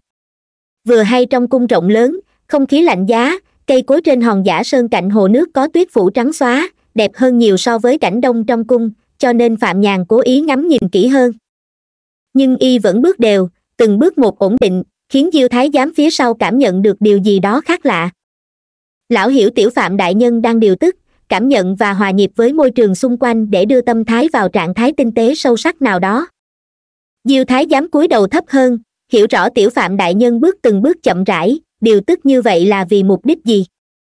Đi qua vườn cây mùa đông vòng quanh hòn giả sơn, bước lên thềm gỗ trên hồ nước lạnh, định băng qua đình tuyết, nơi năm ấy từng có cuộc trò chuyện với hoàng đế bệ hạ trong tuyết, phạm nhàn bất chợt dừng bước, mắt hơi nhíu lại. Trong tuyết đình có người, vài thái giám cung nữ đang theo hầu một vị quý nhân có dáng vẻ phi tần. Có lẽ trong đình có lò sưởi ấm áp, nhưng vị quý nhân vẫn mặc áo lông thú cực kỳ quý giá và ấm áp. Sau khi ngẩn người, phạm nhàn mỉm cười, tiếp tục bước vào trong đình y không ngờ giữa thời tiết lạnh giá này lại gặp một phi tần trong cung. Hôm nay vào cung, y sẽ không đến gặp nghi quý tần, cũng không đến gặp ninh tài nhân và thục quý phi trong lãnh cung, thậm chí còn cố ý tránh né, nên mới chọn đi qua hồ nước lạnh hồ này, không ngờ vẫn gặp một vị. Đương nhiên y sẽ không trốn, mà diêu thái dám đi theo phía sau, tất nhiên cũng không dám lên tiếng khuyên y chọn đường khác. Khi hai người vừa bước vào đình, những người trong đình giật mình bất ngờ rõ ràng họ cũng không ngờ giờ phút này lại có người từ bên ngoài vào cung. Cung nữ tinh mắt nhận ra diêu công công đang cúi đầu đi sau phạm nhàn, vội vàng quỳ xuống làm lễ, thầm đoán thân phận của vị sĩ tử trẻ tuổi này. Phạm nhàn đứng trong đình, trong lòng cũng kinh ngạc, thầm nghĩ chưa đầy vài tháng mà sao cung nữ trong cung đổi hết một nhóm, thậm chí còn không nhận ra mình. Trong lòng nghĩ vậy, ánh mắt y vô thức dừng lại trên người vị phi tần, một lúc lâu sau vẫn không rời đi vị phi tần này khoảng mười lăm, mười sáu tuổi, nhan sắc còn ngây thơ xinh xắn, chỉ có điều hôm nay trang điểm, ăn mặc sang trọng, tôn lên vẻ quý phái và kiêu ngạo. Trong đôi mắt vị phi tần ấy mang nỗi tự hào khó kiềm chế, nhìn diêu công công hỏi, bệ hạ đã dùng cơm trưa chưa? Diêu công công không đáp, chỉ mỉm cười, nghĩ bụng đóng vai người được sủng ái trong lúc này thật không phải lựa chọn khôn ngoan. Mọi người trong đình chợt cảm thấy kỳ quái, nhất là chú ý đến ánh mắt của phạm nhàn, càng thêm phẫn nộ nghĩ bụng không biết tên khốn kiếp kia từ đâu tới. Phạm nhàn chăm chú nhìn vào bụng vị phi tần này, dù bên ngoài được che bởi lớp lông thú dày cột nhưng y vẫn nhìn rõ ràng. Y lập tức biết được, vị quý nhân đang ngồi trong đình thưởng tuyết chính là mai phi được sủng ái hiện giờ, cũng chính là người mang thai hậu duệ của hoàng đế. Trong đình im phăng phắc, phạm nhàn lẳng lặng nhìn bụng mai phi, nhìn thật lâu. Ánh mắt y rất phức tạp. Nhưng việc một nam nhân chăm chú nhìn vào vị trí đó của nữ nhân khác thật sự vô cùng thiếu lịch sự. Tên vô lại kia từ đâu tới, hai con mắt vô lễ nhìn chỗ nào vậy? Một cung nữ không lớn tuổi trừng mắt nhìn phạm nhàn, sẵn sàng tiến lên tác vào mặt y một cái. Cung nữ này là tỳ nữ được mai phi đưa từ ngoài cung vào, mấy ngày nay hầu hạ chủ nhân sang quý, càng thêm kiêu ngạo, ngay cả vị nhược nhược trong sáu phương cung trong nội cung cũng phải ôn tồn thăm hỏi, chưa từng thấy nam nhân nào trong cung dám nhìn mai phi như vậy phạm nhàn hiếp mắt nhìn cung nữ giận dữ tiến lại, không hề có phản ứng. Diêu thái dám giật mình, những ngày này luôn bên cạnh hoàng đế, cũng không quản chuyện hậu cung, không ngờ hạ nhân của mai phi lại vô lễ đến thế. Bốp, một tiếng tác vang lên, diêu thái dám bay người tới, hung hăng tác một cái khiến cung nữ ngã lăn ra đất rồi nhanh chóng rút tay lui về phía sau phạm nhàn, cúi đầu nói nhỏ, tiểu phạm đại nhân, bệ hạ vẫn đang chờ ngài. Phạm nhàn mỉm cười nhìn lão một cái, nói căng thẳng làm gì vậy? Sợ ta giết cô ấy à? Diêu thái dám cười gượng, không nói gì, trong lòng nghĩ mỗi bước đi đều kiểm soát sát ý, sát khí trong người đã đạt tới đỉnh điểm, phong kính trong cơ thể không hề lộ ra ngoài, nếu chạm phải ngòi nổ thật sự, không phải ai cũng chịu nổi cơn thịnh nộ tùy ý của cao thủ cửu phẩm này. Cung nữ bị tác choáng váng, khóe miệng rỉ máu. Không khí trong đình như đông cứng lại. Mai phi trợn mắt ngơ ngác nhìn cảnh tượng, giận đến mức hơi hồ đồ không hiểu tại sao diêu thái dám lại làm thế, người trẻ tuổi kia là ai, dám không lễ phép trước mặt mình, còn nhìn mình chằm chằm vô lễ như vậy. Chỉ có mấy thái giám cung nữ hiểu rõ danh tính đối phương từ lời đối thoại của diêu công công, cuối cùng họ cũng biết vị sĩ tử trẻ tuổi này chính là tiểu phạm đại nhân mà các tiền bối thường nhắc tới, lập tức cúi đầu xuống, không dám nhìn thẳng. Phạm nhàn bình tĩnh nhìn mai phi đang giận dữ, dừng một lúc rồi nói, trời lạnh, về cung đi, chơi mạt trượt cũng tốt ở đây cảm lạnh bị bệnh, không tốt cho thai nhi trong bụng. Đừng nghĩ bệ hạ thấy ngươi trong đình tuyết sẽ cảm thấy ngươi đẹp hơn, cũng đừng hy vọng người sẽ thương ngươi nhiều hơn. Trong cung này, sống đơn giản là tốt nhất. Ánh mắt y lại nhìn xuống bụng mai phi, không nhịn được cười khổ lắc đầu, nghĩ bụng trong thời gian ngắn mà đã thấy rõ thế kia, xem ra trong phương diện nào hoàng đế lão tử cũng rất cường hãn, không biết trong bụng là đệ đệ hay muội muội của mình. Hy vọng ngươi sinh cho ta một muội muội ta chưa có muội muội. Phạm nhàn chân thành chúc phúc mai phi một câu rồi vòng qua mọi người dưới đình, bước lên thuyền gỗ bên hồ, đi về phía tây bắc cung điện. Mai phi cố gắng không bật khóc, phẫn nộ và bất lực dâng trào. Cô vô thức quay đầu nhìn bóng lưng phạm nhàn, không kìm được trùng mình. Chỉ là cô gái mười lăm, mười sáu tuổi, nghe ra địa vị của đối phương, cảm thấy có phần sợ hãi. Từ khi mang thai hậu duệ hoàng đế, cô vừa tự hào vừa lo sợ vì biết đứa trẻ trong bụng có ý nghĩa thế nào đối với vị ở xấu phương cung, đối với vị ngoại thần kia. Cô không nghĩ câu cuối cùng của phạm nhàn là chúc phúc, chỉ nghe như một lời cảnh cáo, lại không biết phạm nhàn thật lòng mong cô sinh công chúa. Nếu sinh hoàng tử, sợ là cả đời bị đè nén, không bao giờ ngóc đầu lên nổi. Mai phi nhìn theo bóng dáng khuất dần trong tuyết rơi, ánh mắt đầu tiên là sợ hãi rồi dần chuyển thành không cam lòng, cuối cùng là oán hận. Khánh đế không ở trong tiểu lâu ngài đứng trước một khu cung điện hoang phế ở góc tây bắc hoàng cung, chăm chú nhìn tòa tiểu lâu kia. Nơi đây cung điện đã thưa thớt, vườn đông vắng vẻ, còn có non bộ giả sơn đã lâu không tu sửa nên rất đổ nát, còn lạnh lẽo hơn so với lãnh cung ở bên kia. Trong khung cảnh hoang tàn ấy, diêu công công lặng lẽ lui ra. Phạm nhàn một mình nhìn bóng dáng vàng nhạt giữa tiểu lâu và cỏ dại, lẳng lặng bước tới, đi đến phía sau một khoảng, giống như năm xưa trên bãi biển đạm châu im lặng bên cạnh ngài nhìn về tiểu lâu. Hai phụ tử quân thần không im lặng bao lâu, hoàng đế chắp tay sau lưng, lẳng lặng quan sát tiểu lâu, môi mỏng khẽ mở, lạnh nhạt hỏi, trước đó có gặp mai phi chứ? Có. Phạm nhàn cũng chắp hai tay sau lưng, nghe bệ hạ hỏi bèn trầm ổn đáp lời. Ngươi nghĩ trong bụng cô ấy là nam hay nữ? Hoàng đế hỏi tiếp.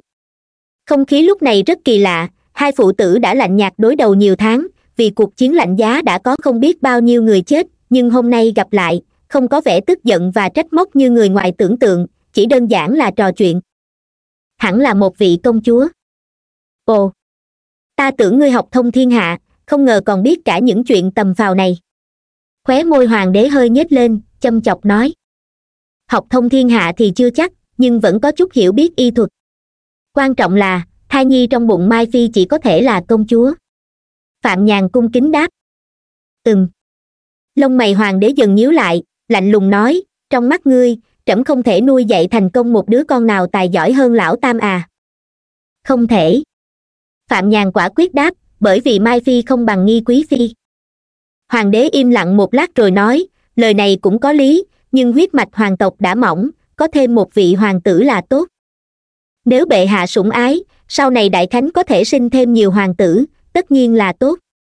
Phạm nhàn không nói rõ ai là người được sủng ái, mà cúi mắt xuống, nói thẳng, nếu không, thêm một người như thừa càng, thừa trạch thì cũng chẳng có ý nghĩa gì.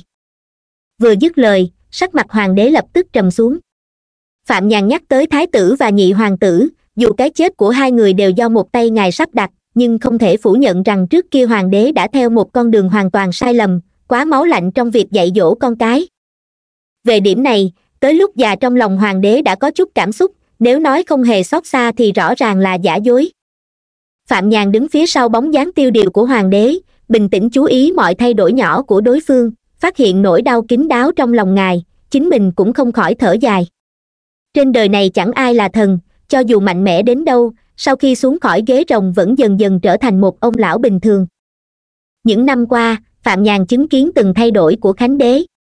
Chính vì hiểu điều đó hôm nay y mới dám vào cung nói những lời này.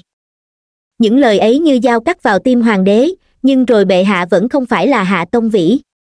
Chỉ sau giây lát, khuôn mặt ngài trở lại vẻ oai nghiêm muôn đời như vách đá treo leo ở đại đông sơn, ngoài trơn như ngọc, trong sắc bén cay nghiệt, khinh thường bảo tố. Hạ tông vĩ chết rồi. Hoàng đế chậm rãi hỏi. Vâng thưa, bệ hạ. Ngươi khổ sở suy nghĩ bảy ngày đêm trong phủ trẫm cứ tưởng ngươi sẽ nghĩ ra cách gì lay động lòng trẫm, không ngờ cuối cùng vẫn là càng quấy thế này. Hoàng đế lắc đầu mỉa mai, thật khiến trẫm thất vọng. Phạm nhàn nở nụ cười xấu hổ, đáp, bệ hạ như đông sơn, ngàn năm gió bụi cũng không ngại, cuối cùng ta chỉ là kẻ phàm phu tục tử, dù suy nghĩ thế nào cũng không thể nghĩ ra thủ đoạn từ không hóa có được. Trí tưởng tượng con người có hạn, điều không tồn tại trên đời, dù cố gắng nghĩ cũng vô ích. Những lời này nói rất thành khẩn đúng là lời từ tận đáy lòng phạm nhàn. Đối mặt với bậc hùng tài đại lược, bản thân lại hùng mạnh vô địch như bệ hạ, muốn tìm cách đánh bại quả thực khó như lên trời. Đúng là điều không tồn tại trên cõi đời này. Suốt thời gian dài suy nghĩ mà không nghĩ ra biện pháp, nên cuối cùng ta hiểu ra, có lẽ từ nhỏ đã quen với việc suy tính chu đáo mọi việc trong giám sát viện, chỉ hành động khi đã chắc chắn thành công. Phạm nhàn đột ngột ngước mặt lên, trên gương mặt thanh tú là ánh sáng khiến lòng người phấn khởi nói, nhưng lần này khác, ta không thể tìm ra cách chắc chắn. Nếu mãi không nghĩ ra cách cốt tại sao không dùng phương pháp đơn giản nhất? Phương pháp đơn giản nhất, mấy chữ đơn giản nhưng ý nghĩa sâu xa. Phương pháp đơn giản nhất là gì? Đương nhiên là như thú vật, dùng răng cắn xé, dùng móng vuốt cào xé trong cuộc chiến sinh tử. Lời nói phạm nhàn nói toát lên sự bứt phá sau thất bại, một thái độ liều lĩnh tàn nhẫn và bất cần đời chưa từng thể hiện hoàng đế chợt trấn tĩnh lại, xoay người nhìn con trai, dường muốn tìm kiếm điều gì đó khác thường trên khuôn mặt quen thuộc. Giây lát sau, hoàng đế cười to, trong tiếng cười lẫn chút tán thưởng. Nhưng nụ cười nhanh chóng tắt ngúm, giọng nói của hoàng đế cực kỳ lạnh lùng, giết chóc đại thần ngay trước mặt mọi người, coi luật pháp khánh quốc như không, đó là thô bạo, không phải thủ đoạn oai hùng. Bệ hạ là minh quân, hạ tông vĩ là gian thần, nên hắn phải chết. Phạm nhàn bỗng cười bình tĩnh nói điều cả hai đều không tin, hôm nay chết là quan viên của phe hạ, nhưng tin tức lan truyền ra ngoài chắc chắn sẽ chấn động thiên hạ. Cho dù bề ngoài tỏ ra nhân nghĩa, thực chất hạ tông vĩ là phường gian nịnh. Bệ hạ y minh thần vũ đột nhiên phát giác bộ mặt thật của y, vì nghiệp lớn lao vạn năm của đại khánh, dùng thủ đoạn oai hùng trừ khử tên gian thần tàn ác, đâu phải là điều luật pháp khánh quốc có thể hạn chế. Kẻ điên cuồng thốt ra những lời điên cuồng, làm những chuyện điên cuồng ngày mùng bảy tháng giêng khánh lịch năm thứ mười một, phạm nhàn sai người âm thầm sát hại đại thần giữa đường phố. Trước cửa thành lại giết chết đại học sĩ môn hạ trung thư, thật sự là hành động điên cuồng chưa từng có trong trăm năm triều đại khánh quốc. Nhưng giờ đây, y lại thông thả nói rằng hành động theo ý chỉ của bệ hạ, thanh trừng bọn gian thần, tưởng những lý do này có thể biện minh cho hành động hôm nay của mình, thật sự điên cuồng đến cùng cực. Tuy vậy, điều không ngờ là, khóe môi hoàng đế chỉ nở nụ cười mỉa mai khó đoán không hề tức giận, hỏi, trẫm đâu có ban chiếu chỉ cho ngươi? Thần chỉ mong thể hiện tấm lòng trung thành của bề tôi. Phạm nhàn bình tĩnh đáp, hôm nay nhân lúc vừa qua năm mới, các nơi trong kinh đô sơ hở, lợi dụng trong cung coi thường ảnh hưởng của mình đối với cựu thành viên của giám sát viện, nên mới y có thể tiến công dồn dập, thanh trừng sạch những trụ cột của phe hạ trong triều. Nguyên nhân chính có thể đạt được mục tiêu chiến lược này là vì phạm nhàn ra tay quá đột ngột, thậm chí quá bất ngờ khiến không ai trong cung cũng như ngoài triều đình dự đoán trước được. Tiếng sét đánh ngang tai khiến cả thiên hạ phải hoảng sợ che lỗ nhĩ đó chính là ý đồ của phạm nhàn. Y nhất định phải suy nghĩ đến con đường thoát thân nếu thất bại. Y muốn tiêu diệt sạch sẽ lũ quan viên chó săn nhìn chằm chằm vào mình không tha. Giết sạch, về sau nếu thua thật, có lẽ những người trung thành với mình sẽ bớt khổ sở hơn. Nhưng tiếng sét chỉ vang lên giây lát, triều đình sẽ nhanh chóng phản ứng khi guồng máy quốc gia hùng mạnh của khánh quốc hoạt động hết công suất, quân đội thiện chiến sẽ tràn vào kinh đô, lực lượng của phạm hệ chỉ có nước bị tận diệt, nhất là trong kinh đô. Lúc này, quân phòng vệ kinh đô đã phối hợp với 13 thành môn ti tiến hành truy quét. Cấm quân canh gác cung điện sẽ không can thiệp, nhưng chỉ một mình bên kia đã đủ rồi. Lúc này các thuộc hạ trung thành với phạm nhàn lúc này đã bắt đầu lẫn trốn, nhưng với phạm nhàn điều đó vẫn chưa đủ để tìm cho những người trung thành một lối thoát rộng rãi nhất có thể dưới cơn thịnh nộ của luật pháp thánh quốc và hoàng đế. Đó mới là nguyên nhân khiến y nói những lời phi lý này với hoàng đế bệ hạ. Trong phủ hạ đại học sĩ nuôi hai con chó dữ, khá có thanh danh liêm chính, có điều, hai vị tộc huynh tên ấy ở quận cũ của họ hạ cũng khá có danh hiệu chó dữ, lúc chiếm đoạt điền sản với mỹ nữ cũng không mảy may khách khí. Phạm nhàn nhếch khóe môi nói rằng, tuy không có việc bán quan tước nhận hối lộ, nhưng trong ba năm qua trong phủ cũ nát của hạ đại học sĩ ấy, tranh vẽ danh gia thời tiền ngụy lại thêm mấy chục cuộn. Phạm vô cứu vốn là thuộc hạ của thừa trạch ngày xưa, là một trong bát gia tướng, dù từng rời khỏi vương phủ, nhưng cũng tham dự mưu phản. Ba năm trước sau khi kinh đô phản loạn bị dẹp yên, người này chẳng hề tự thú với triều đình, lại mai danh ẩn tích gia nhập phủ hạ đại học sĩ, mưu đồ gì thì khỏi phải hỏi cũng biết. Rõ ràng hạ đại học sĩ biết thân phận người ấy, lại âm thầm cấu kết không hiểu ý đồ gì. Phạm nhàn chậm rãi và bình tĩnh nói. Đối với tên hạ tông vĩ này, giám sát viện đã sớm điều tra, chỉ vướng bệ hạ nên những gì vất vả tra ra vẫn không thể phơi bày dưới ánh mặt trời. Hôm nay, đương nhiên phạm nhàn sẽ không kiên kỵ điều gì, nhất là trong lòng y thầm hiểu, vị bệ hạ trước mặt biết rất rõ những chuyện này, thậm chí còn rõ hơn chính y. Tháng trước, phạm vô cứu suýt bỏ mạng vì bị hành thích. Phạm nhàn đột nhiên mỉm cười nhìn gò má hoàng đế bệ hạ, vì chuyện phạm vô cứu bị diệt khẩu chính là bệ hạ sai người đi làm. May là trong số thuộc hạ của ta có người vô tình đi ngang qua, cứu được hắn ta, cuối cùng vẫn ghi lại được khẩu cung, lúc này khẩu cung đó đã gửi tới giám sát viện.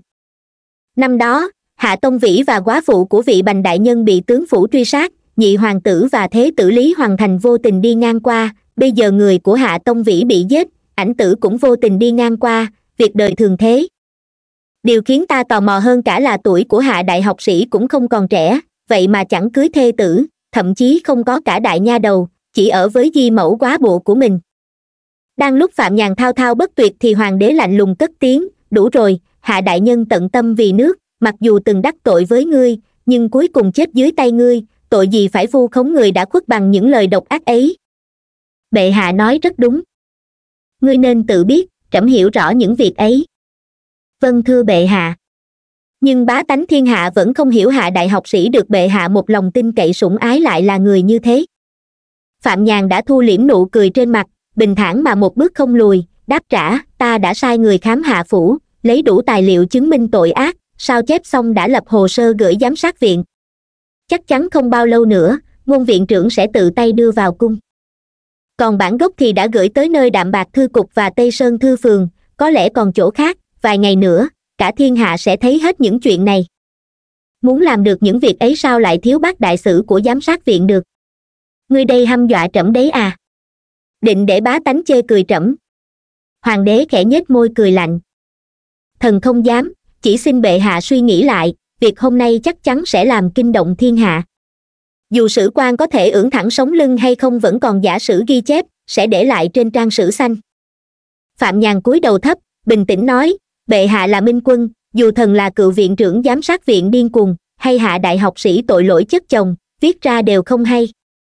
Nhưng nếu thánh nhãn soi tỏ ắt sẽ có luận điều khác. Nghe có vẻ khả thi, nhưng nếu thế, chẳng phải lòng người trong triều đình sẽ nguội lạnh. Không biết hoàng đế bệ hạ có bị phạm nhàn thuyết phục thật không, ngài lạnh lùng và châm chọc liếc nhìn đứa con trai mình. Bất cứ thần tử nào cũng chỉ là nô tài của bệ hạ một nô tài chết đi nhưng có thể thể hiện rõ ân uy của bệ hạ, cũng coi như vẻ vang. Lời nói của phạm nhàn thật độc địa, không biết đang mỉa mai bản thân và quan lại triều đình, hay chỉ hạ đại học sĩ đã khuất, hay nói chính, vị quân vương lãnh khốc trước mặt. Triều đình tự có pháp chế, dù hạ tông vĩ có tội, cũng phải bắt vào ngục tra hỏi rõ ràng, trừng trị theo luật, sao có thể tùy tiện sát hại. Không biết có phải hoàng đế bệ hạ nghe ra vẻ châm chọc trong giọng điệu của phạm nhàn hay không, ngài lạnh lùng đáp dạ phải. Vì thế quan lại phẫn quốc xuất thủ hôm nay tuy có tội, nhưng cũng vì nghĩa khí, tội có thể khoan thứ. Còn ta là tên cùng sát vô pháp vô thiên, tất nhiên không thể tha thứ. Phạm nhàn cười cay đắng, nói, chỉ cần hy sinh tính mạng ta, để bình ổn nghị luận trong thiên hạ, chắc chắn không ai nghĩ hạ tông vĩ oan uổng. Hoàng đế bệ hạ nghe lời nói dường như ôn hòa nhưng thực chất lạnh lùng nghiêm nghị, vẫn chẳng động lòng, phán nhưng trẫm, cuối cùng vẫn còn hổ thẹn với hạ đại học sĩ. Người chết đã chết rồi. Phạm nhàn thốt ra mấy chữ không nặng không nhẹ. Không ngờ trên mặt hoàng đế bỗng hiện lên vẻ buồn bã âm u, im lặng nhìn y, sau một lúc mới nói, nếu thật sự người chết đã chết rồi, sao hôm nay ngươi lại vào cung? Phạm nhàn im lặng không đáp, quanh chủ đề này, từ lâu giữa hoàng đế và y đã không cần bàn lại. Lần trước vào cung khác biệt trong xưng hô giữa phụ hoàng và bệ hạ cũng đã vạch trần khác biệt ấy, còn thái độ quả quyết của phạm nhàn lần này càng làm rõ ý định của y. Có điều mưa gió trong kinh đô ngày hôm nay, phạm nhàn vẫn phải nói rõ, vì triều đình xử trí ra sao, dù chỉ là những thay đổi nhỏ trong cách nhìn nhận cũng sẽ mang tới đã kích hoàn toàn khác biệt cho những thuộc hạ của y, một lời của thiên tử nặng tựa bầu trời. Tây sơn thư phường và đạm bạc thư cục đã sẵn sàng phát hành khắp thiên hạ nhưng phạm nhàn không hề muốn dùng danh tiếng để uy hiếp hoàng đế, vì điều đó vốn bất khả thi. Y hiểu quá rõ tính cách vô tình chỉ vì lợi ích của hoàng đế. Hạ tông vĩ đã chết, cho dù lúc sống từng được hoàng đế coi trọng và tán thưởng cỡ nào, nhưng giờ đây chỉ còn là một thi thể lạnh lẽo, một nô tài vô dụng. Đối với quan viên thần tử bình thường, khánh đế đều coi như nô tài, một sự thật lạnh buốt lòng người làm sao để cái chết của hạ đại học sĩ không quá rung chuyển nền móng triều đình mới là trọng tâm hoàng đế quan tâm. Phạm nhàn muốn dùng chiến lược của mình để thuyết phục bệ hạ chấp nhận, còn tội giết đại thần thì không thể trốn tránh được. Hành động của y đã vượt qua giới hạn của một chế độ phong kiến, dù đứng ở lập trường hoàng đế hay quan viên thân sĩ trong thiên hạ, thánh quốc không còn chỗ cho phạm nhàn dung thân. Kỳ lạ hơn cả là, hoàng tộc luôn chú trọng đạo đức nhân nghĩa dù coi dân chúng như dung dế nhưng vẫn phải che giấu tâm tư khắc nghiệt. Cho dù là thân tín, khi đề xuất cũng cẩn thận vén lá cờ đại nghĩa che đậy, chứ không trần trụi bị ổi như phạm nhàn hôm nay. Phạm nhàn vẫn làm và nói như thế, hoàng đế bệ hạ vốn không cho là vô lễ mà vẫn tùy tiện lắng nghe. Trên đời chỉ có đôi cha con thiên gia này mới có thể đối thoại máu me vô liêm sĩ như vậy. Nếu lúc này bên cạnh có người nghe được, ngoài kinh hoàng về nội dung chắc chắn họ sẽ chú ý tới một vấn đề nghiêm trọng khác. Trong hoàng cung giữa mùa đông, từ đầu đến giờ phạm nhàn không lễ độ, không bái, không quỳ, không xưng thần mà chỉ xưng ta, lạnh nhạt đáp lời, nói thẳng tâm can, quả thật càng rỡ. Hoàng đế khoan dung sự thái độ càng rỡ của y, vì trong mắt thoáng chút lạnh lẽo, chỉ hơi chán ghét vẫy tay. Người khác có thể không hiểu ý nghĩa trong mỗi cử chỉ của hoàng đế, nhưng phạm nhàn thì khác. Y nhanh chóng đứng thẳng sắc mặt lấy lại bình tĩnh, biết chắc chuyện hôm nay sẽ có chút thay đổi, tuy tội danh khác đi chút ít nhưng động thái trừng trị công khai và ngấm ngầm của triều đình hoàn toàn khác biệt. Một cơn gió lạnh thổi qua, cuốn tuyết trên cỏ dại phía sau hai người rơi lên người, càng tăng thêm cảm giác rét buốt khắc nghiệt. Giá như hạ tông vĩ biết mình trung thành với hoàng đế đến chết nhưng chỉ cần một cuộc đối thoại đã khiến bản thân chết cũng không được sạch sẽ, chỉ e oán khí trong của hắn sẽ càng đậm hơn. Nhưng đây là chế độ phong kiến là gia đình trị quốc. Trong mắt đôi phụ tử vô liêm sĩ này, cho dù là danh tiếng của họ hay triều đình, đều quan trọng hơn so với hạ tông vĩ đang lúc thăng tiến. Cách xử lý như vậy có khiến đại thần thất vọng hay không, đó là chuyện thao tác cụ thể trong cung sau này. Tuyết vẫn rơi lạnh lẽo, hoàng đế quay người lại, im lặng nhìn phạm nhàn cùng chiều cao với mình. Hằng ngày phạm nhàn luôn cúi đầu trước mặt hoàng đế, nay y đứng thẳng, hoàng đế mới thấy hai cha con đã ngang vai một luồng khí thế lạnh lẽo khốc liệt tỏa ra từ nam nhân áo vàng, khóa chặt phạm nhàn xuống mặt đất tuyết động. Đó không phải cố ý toát ra mà chỉ tùy tâm trạng thay đổi, ảnh hưởng tới môi trường xung quanh. Phạm nhàn vẫn bình thản, chăm chú hít thở không khí trong tuyết. Hai cha con nói rất lâu, hiểu rõ thời khắc này sẽ đến, giờ việc hạ tông vĩ xong, đương nhiên tới phiên hai người. Trẫm rất tò mò, ngươi vào cung một mình đối đầu với trẫm, rốt cuộc dựa vào đâu mà tùy ý như vậy? Khuôn mặt hoàng đế bình thản, hoàn toàn tự nhiên hơi ngửa lên, đầy vẻ mỉa mai kinh thường. Thực ra không có gì che chở cả.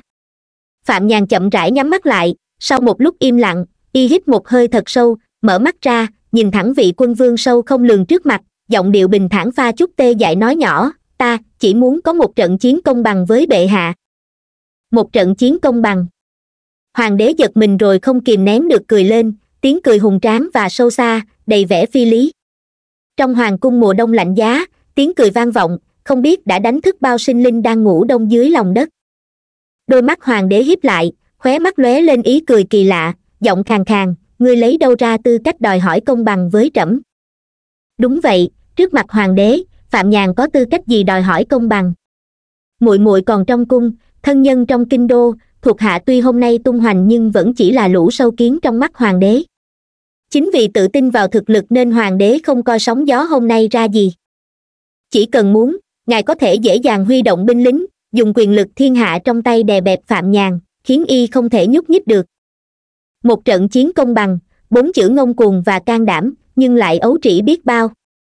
Hoàng cung chẳng phải giang hồ, ngươi muốn đánh, quân vương khinh thường không muốn đánh với ngươi ngươi làm được gì? Vẻ mặt phạm nhàn không hề thay đổi, bình tĩnh kiên định nhìn hoàng đế, từng chữ nói tư cách nằm ở thực lực thực lực cầu chết, ta nghĩ bản thân vẫn có. Nghe vậy, đôi mắt hoàng đế hiếp lại, ánh mắt lướt qua vai phạm nhàn, nhìn về phía quần thể cung điện liên miên phía đông nam. Mảnh cung đình vốn náo nhiệt giờ im ắng, không có động tĩnh bất thường, nhưng trong lòng hoàng đế rung động, biết nơi đó có vấn đề.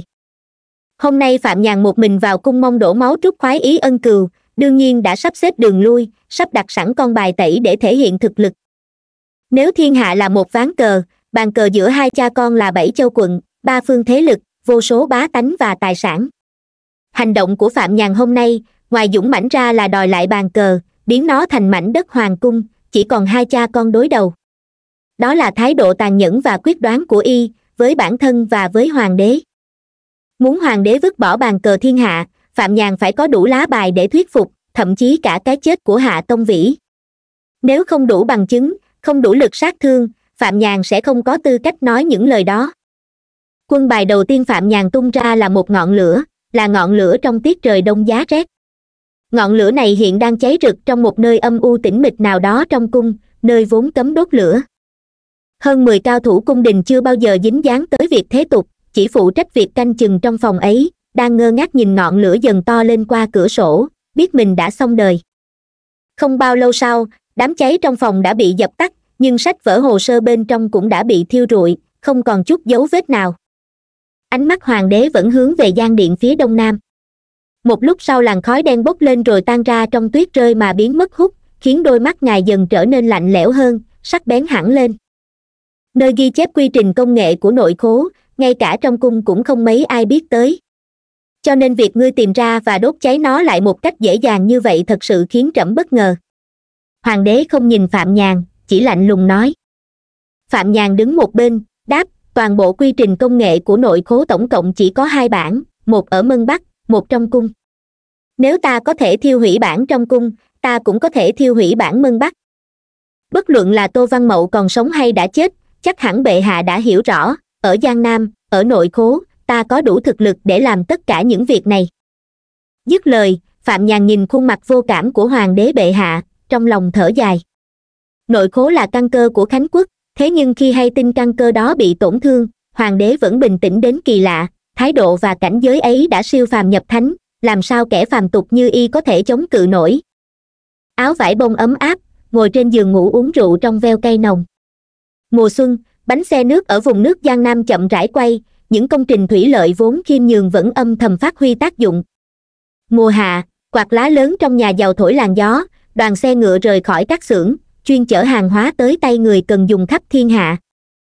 Hệ thống thủy lợi cơ bản trải khắp đồng ruộng khánh quốc, đồ thủy tinh, đồ sứ trong mỗi nhà, không khí trong mỗi ngõ ngách, thực chất đều có liên quan tới nội khố.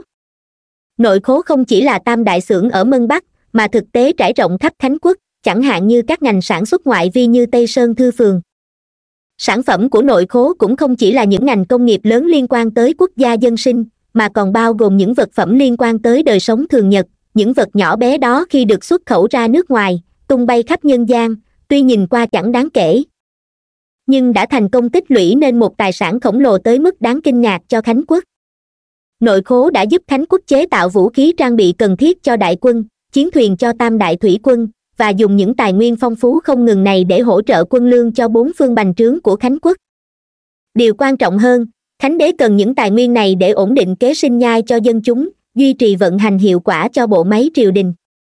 Có lẽ ngàn vạn dân chúng khánh quốc đã quá quen với nội khố trong cuộc sống của họ, đến nỗi coi đó là chuyện đương nhiên, dần quên đi tầm quan trọng của nội khố, hoặc ít nhất là đánh giá thấp tầm quan trọng đó. Nhưng khánh đế thì không, bất kỳ quan lại nào có đầu óc trong khánh quốc cũng không, triều đình bắc tề thèm muốn nội khố càng không. Nếu không khánh quốc đâu có tập trung tinh nhuệ vào mân bắc bố trí hệ thống canh phòng nghiêm ngặt xung quanh tam đại phường còn hơn cả kinh đô, tất cả đều nhằm ngăn ngừa bí mật công nghệ nội khố bị lộ ra bên ngoài. Đám cháy trong cung đêm nay đã cảnh báo rất rõ ràng với khánh đế rằng, bí mật lớn nhất của khánh quốc với phạm nhàn không hề là bí mật, thậm chí chỉ là một lá bài y có thể tùy ý sử dụng. Một khi quy trình công nghệ nội khố bị phá hủy hoàn toàn, những thợ thủ công già cả chết đi, tam đại phường bị tàn phá, nền tảng của khánh quốc sẽ bị tổn thương trầm trọng có điều, vẻ mặt lạnh lùng của hoàng đế cho thấy ngài không lo lắng nội khố sẽ bị phạm nhàn phá hủy, bởi ngài biết phạm nhàn cũng rất coi trọng nội khố, không thể xé nát viên ngọc quý của thế gian này. Ngài tin rằng lúc này phạm nhàn sẽ ra tay ở giang nam, phá hủy bản gốc quy trình công nghệ của nội khố. Nhưng ngài cũng tin chắc phạm nhàn trước khi làm việc đó đã sao chép lại một bản. Chỉ có những thứ còn giá trị, mới có thể trở thành lợi thế đàm phán. Khánh đế lạnh lùng rời ánh mắt khỏi nơi khói đen nhìn phạm nhàn một cái, nói, đúng là điên cuồng, thân là người khánh quốc mà lại làm ra chuyện như vậy được. Phạm nhàn im lặng một lúc rồi nói, ta chỉ nghĩ rằng, đây là chuyện giữa ta và ngài, nếu tai họa lan tràn thiên hạ thì thật sự không phải ý muốn của ta. Lời nói này đã rất rõ ràng. Hoàng đế cai quản thiên hạ, nếu không phải phạm nhàn nắm trong tay lá bài khiến ngài phải để tâm, ngài đâu có thu liễm hết thảy đế ý, chỉ giới hạn cuộc chiến này trong hoàng cung ngài có đủ thủ đoạn để trừng trị những kẻ đi theo phạm nhàn, nhưng phạm nhàn muốn buộc ngài không ra tay với những người ấy. Điều này trông như một yêu cầu rất non nớt, trẻ con, giống như trò chơi gia đình vậy. Bệ hạ ơi, ta sắp nổi loạn rồi. Nếu thất bại, bệ hạ đừng hành hạ thuộc hạ của ta. Nhưng trong cung điện phủ tuyết lúc này lặng ngắt như tờ, phạm nhàn đưa ra đề nghị và hoàng đế vẫn bình thản, không ai coi đây là trò đùa bởi trong tay phạm nhàn thực sự cầm lá bài rất lớn có thể tổn thương căn cơ của khánh quốc. Hoàng đế bệ hạ không phải là người có thể bị uy hiếp, cho dù phạm nhàn cầm trong tay chính là bảy tấc của nội khố, ngài vẫn lạnh lùng nhìn phạm nhàn một cái, nói, tiếp tục đi. Phạm nhàn đang nghe truyện trên tv audio cv cực kỳ thành khẩn hành lễ một cái, nói, bệ hạ thiên tư hơn người, hiện giờ quốc khố khánh quốc đã phong phú, khí thế dân chúng đang lên, quân sĩ mặc giáp sắt dũng mãnh tuy danh tướng đã có người hy sinh, nhưng từ chuyện diệp hoàng có thể thấy trong quân ngũ vẫn còn rất nhiều nhân tài. Cho dù nội khố bị phá hủy trong tay ta, trong thời gian ngắn cũng không thể sụp đổ hoàn toàn. Với tài năng của bệ hạ, dù hoàng đế bắc tề và thượng sam hổ kiên cường chống đỡ ra sao, quân ta kéo lên bắc phương, dùng thế hổ lan xâm chiếm bốn phương, chắc chắn trong thời gian bệ hạ còn tại thế sẽ thực hiện được hoài Bảo thống nhất thiên hạ. Không ai có thể ngăn cản quá trình này dù ta cầm trong tay điểm yếu của nội khố cũng phải thừa nhận rằng điều đó không thể uy hiếp được bệ hạ bệ hạ có thể hoàn toàn không để ý những thứ này. Phạm nhàn cúi đầu, bình tĩnh nhấn mạnh từng chữ, có điều, tầm nhìn của bệ hạ sâu rộng, sao có thể chỉ trong nhất thời? Y ngẩng đầu lên, bình tĩnh nhìn hai mắt khánh đế, bệ hạ muốn thống nhất thiên hạ, muốn xây dựng một đế quốc rộng lớn, chấm dứt chiến tranh kéo dài trên đại lục, tìm kiếm một tương lai bình an cho hàng triệu dân chúng, để lại danh hiệu vĩ đại trong sử sách vậy nên điều bệ hạ theo đuổi chính là thiên thu vạn đại của khánh quốc sau khi thống nhất thiên hạ. Nếu bệ hạ còn sống, chiếm trọn bắc tề và đông di, dùng lực lượng thiết huyết đàn áp kháng cự, dùng trí tuệ tài năng thu phục lòng dân, chắc chắn có thể thống nhất thiên hạ. Nhưng nếu bệ hạ qua đời thì sao? Khóe môi phạm nhàn hơi vểnh lên, cười nói, thế gian không còn bệ hạ nào, triều đình đại khánh ban đầu thống nhất thiên hạ biết kiếm đâu được một người cai trị tài năng xuất chúng như vậy lãnh thổ bắc tề rộng lớn, nhân tài nổi lên liên tiếp, dân số đông đúc, kế thừa khí thế đại ngụy, tự xưng là chính thống, nếu không ai kiềm chế được, hàng ngàn vạn con dân nước khác khởi binh phản loạn, ai có thể ngăn cản? Chỉ dựa vào đại quân khánh quốc chúng ta đi giết người khắp nơi sao? Thiên hạ vừa thống nhất chắc chắn lại lâm vào chiến tranh, lúc đó liệu đại quân ta còn có thể bảo vệ được thống nhất hay không còn chưa biết, chỉ sợ cả thiên hạ phản loạn, kinh đô đại khánh của chúng ta cũng nguy hiểm rồi bệ hạ thông hiểu sử sách, tất nhiên biết rằng trị dân bằng sắc máu cuối cùng cũng không thể kéo dài, từng có tần thủy hoàng giết sạch thiên hạ nhưng chỉ trị vì được hai đời là mất. Ba năm qua, để thực hiện đại nghiệp của mình, tất nhiên bệ hạ cần dựa vào nguồn lực vô tận của nội khố để đảm bảo triều đình nam khánh nắm ưu thế tuyệt đối về quốc lực so với các vùng đất mới sáp nhập, uy hiếp người dân cũ của các vùng đất ấy. Dùng ưu thế quốc lực để đổi lấy thời gian, dùng giao lưu để đổi lấy sự đồng hóa theo đó dần dần đồng hóa họ qua các triều đại, quên đi triều đại trước, lòng dân hướng về triều đình mới, lúc đó mới thực sự thống nhất. Nhưng nếu nội khố bị phá hủy, ai có thể đảm bảo quốc lực, quân lực vĩnh viễn ưu việt của đại khánh ta? Nếu bệ hạ còn sống, tất cả những điều này về căn bản không thay đổi, nhưng nếu không còn nội khố, sau đó bệ hạ lìa đời, ai có thể duy trì trật tự đại lục? Con người rồi cũng phải chết. Phạm nhàn lẳng lặng nhìn hoàng đế bệ hạ một cái kể cả người làm bệ hạ cũng không tránh khỏi quy luật sinh lão bệnh tử. Theo như kế hoạch của triều đình trong ba năm qua, bệ hạ cũng luôn suy nghĩ chuyện tương lai. Ngài là một người cực kỳ tự tin, cũng có tư cách để tự tin, ngài hoàn toàn không nghĩ hoàng đế bắc tề và thượng sam hổ có thể ngăn cản được quyết tâm quét sạch thiên hạ của ngài. Phạm nhàn bình tĩnh nói, ngày hôm nay cho dù không có nội khố, ngài vẫn có thể hoàn thành đại nghiệp ngài nỗ lực bao năm qua điều ngài muốn không phải là sự rực rỡ nhất thời của một đời rồi đại khánh sụp đổ dưới cơn mưa gió kháng cự, bởi lẽ sử sách luôn do kẻ chiến thắng viết nên. Nếu sau khi thống nhất thiên hạ mà đại khánh không thể tồn tại ngàn đời, thì ngay cả một nhân vật vĩ đại như ngài cũng chỉ để lại cái danh là tàn bạo, thiếu tầm nhìn xa trong sử sách mà thôi. Phạm nhàn mỉm cười, điều ngài muốn là đại khánh thiên thu vạn đại, vì thế ngài cần nội khố trong tay ta. Ngươi có thể hứa hẹn điều gì cho trẫm? Hoàng đế bỗng nhiên cười phá lên, trong tiếng cười vô cùng hài lòng. Rõ ràng vị hoàng đế thâm sâu khôn này rất vui mừng khi đứa con yêu quý nhất của mình, từng câu từng chữ bám sát cõi lòng khó mà thân cận của ngài, êm ái tiến gần đến hoài bảo rộng lớn của ngài. Nếu ta chết, bản ghi chép kia sẽ được trả về triều đình, công tác phá hoại ở mân bắc cũng sẽ lập tức ngừng lại. Bệ hạ biết mà, ta luôn có một số thuộc hạ trung thành. Phạm nhàn thành khẩn đáp lại, y không nói thua bởi hôm nay một mình xông vào cung, biến hoàng thành này thành chiến trường, ai thua tức là chết, đâu còn con đường thứ hai. Vừa nói, phạm nhàn xoay người đứng sát bên hoàng đế, cùng ngài nhìn ra đám tuyết trắng trên bãi cỏ hoang phía trước, ánh mắt hướng về bên trái, nói, dưới đòn đánh của bệ hạ, vị thiền vu trên thảo nguyên đã không còn sức lực gây chuyện, nhưng dưới chân núi phía cực tây vẫn còn bảy ngàn kỵ binh du mục từ vùng băng tuyết di cư tới. Đội quân tràn đầy sinh lực này hết sức mạnh mẽ nếu bệ hạ chấp thuận yêu cầu của ta ta có thể đảm bảo đội kỵ binh này sẽ không bao giờ áp sát tây lương. Ánh mắt hoàng đế nhìn theo hướng của y hạ xuống vùng tuyết còn sót lại bên trái, lông mày cau lại nói, trong trận đại thắng ở thanh châu lần này, thiền vu tốc tất đạt huy động toàn bộ lực lượng vương đình, nhưng chỉ mang theo hai, ba ngàn mang kỵ binh. Theo báo cáo từ cung điển, sức chiến đấu của đám mang kỵ binh này quả thực không tồi, nếu không phải ông trời bất công gây ra thiên tai tuyết đổ kéo dài ba năm ở phương bắc, chúng cũng không phải chạy tới thảo nguyên tây hồ xa xôi. Như vậy có thể thấy, thượng sam hổ giữ vững cửa ải bắc môn chống lại người mang suốt nhiều năm, quả thực đáng nể. Nhưng số lượng quá ít, khó có thể ảnh hưởng bố cục tổng thể. Lông mày hoàng đế giãn ra, lạnh lùng lắc đầu, rõ ràng không chấp nhận lá bài của phạm nhàn. Chúng ta đang nói chuyện thiên thu vạn đại cơ mà.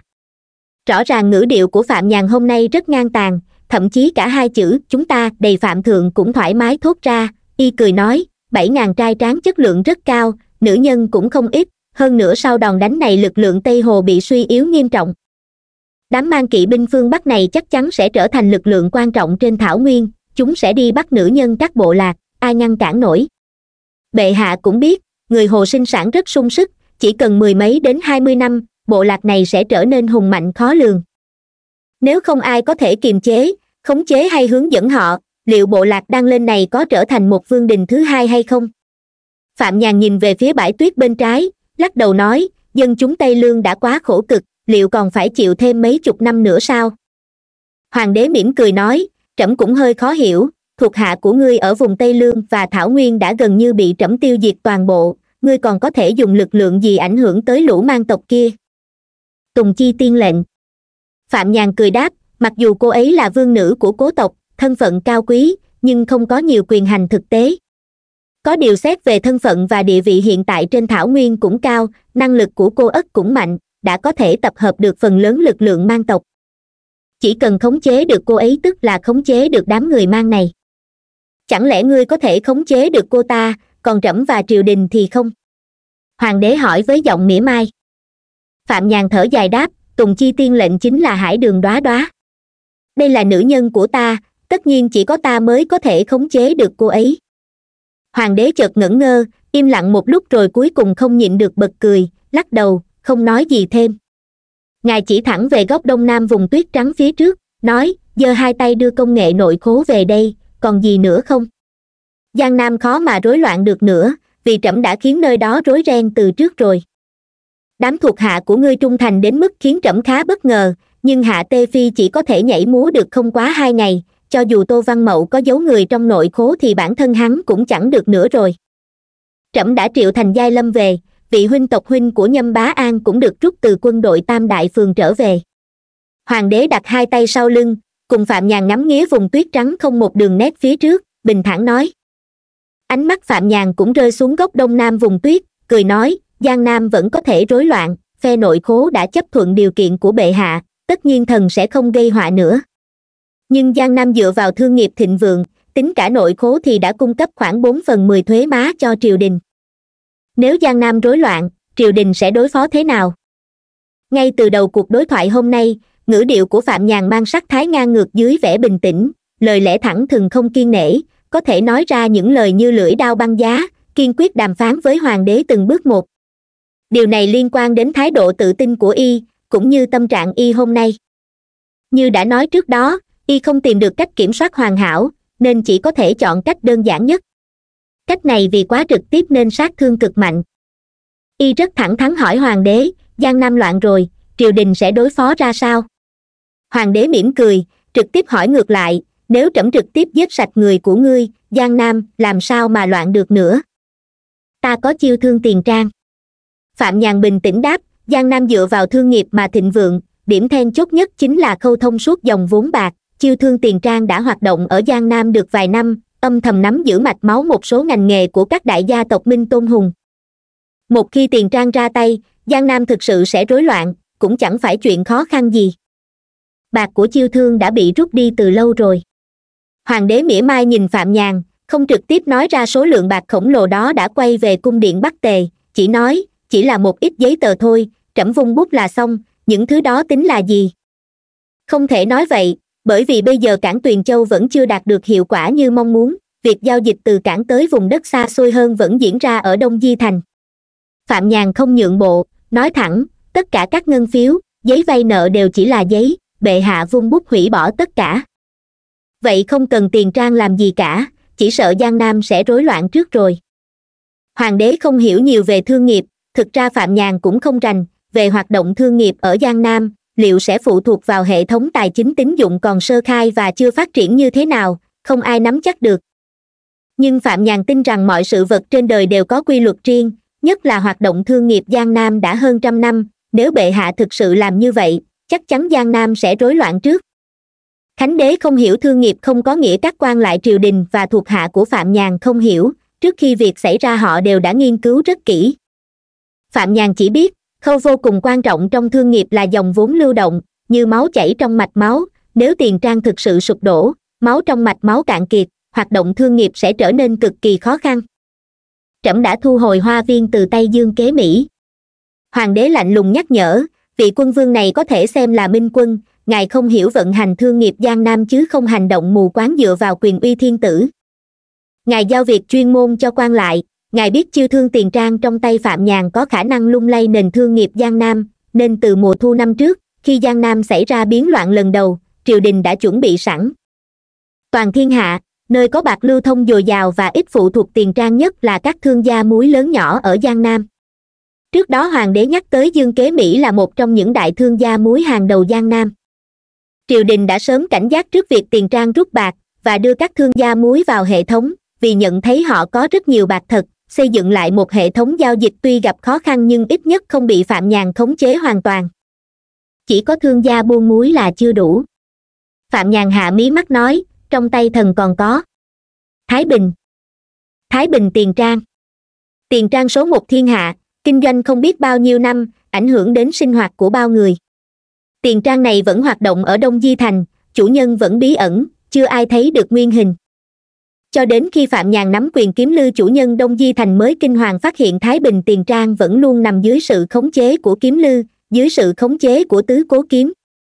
Mỗi lần nghĩ đến điểm này, phạm nhàn không khỏi kinh ngạc và ngưỡng mộ tầm xa trông rộng của tứ cố kiếm. Chỉ có chủ nhân đông di thành mới có thể nhận ra tầm quan trọng của tiền trang từ nền thương nghiệp ngày càng thịnh vượng và để lại một công cụ có thể lay chuyển thiên hạ như vậy. Nghe đến hai chữ thái bình, đôi mắt hoàng đế hiếp lại, tia sáng lạnh lùng hiện ra rõ ràng cũng giống như lúc phạm nhàn lần đầu biết được bí mật này, hoàng đế cũng cảm nhận được một luồng hàng ý. Thái bình tiền trang là thứ tứ cố kiếm để lại cho ta. Phạm nhàn nhẹ giọng thêm vào một câu. Hoàng đế bỗng nhiên bật cười, trong tiếng cười ngập tràn ý vị hoang đường, có lẽ ngài chợt nhận ra, tất cả kẻ thù đáng kính trên đời này đều đã giao phó vũ khí cuối cùng để đánh bại ngài cho đứa con trai yêu quý nhất của ngài việc phát hiện ra sự thật vớ vẩn này khiến ngay cả vị quân vương tưởng chừng lạnh lùng vô tình cũng rung động. Bệ hạ, chúng ta hãy nhìn về đông di thành. Ánh mắt phạm nhàn từ góc dưới của vùng tuyết trắng trượt lên phần giữa vùng đất tuyết vắng lặng này, nơi có một đám cỏ dại, trông giống như biển đông vào mùa hè, sóng to gió lớn như những ngọn núi xé toạc bầu trời. Hoàng đế dần thu hồi nụ cười, khuôn mặt trở nên bình tĩnh và ôn hòa, nói, đông di thành không cần bàn nhiều chỉ có mười mấy thằng nhãi trong kiếm lư hơi rắc rối, nhưng dù sao cũng không phải đối thủ của đại quân. Cường giả cửu phẩm, kiến thiết thì không có tác dụng gì, nhưng phá hoại thì lại là cao thủ, chẳng hạn như ám sát gây rối loạn bên trong đại khánh của chúng ta.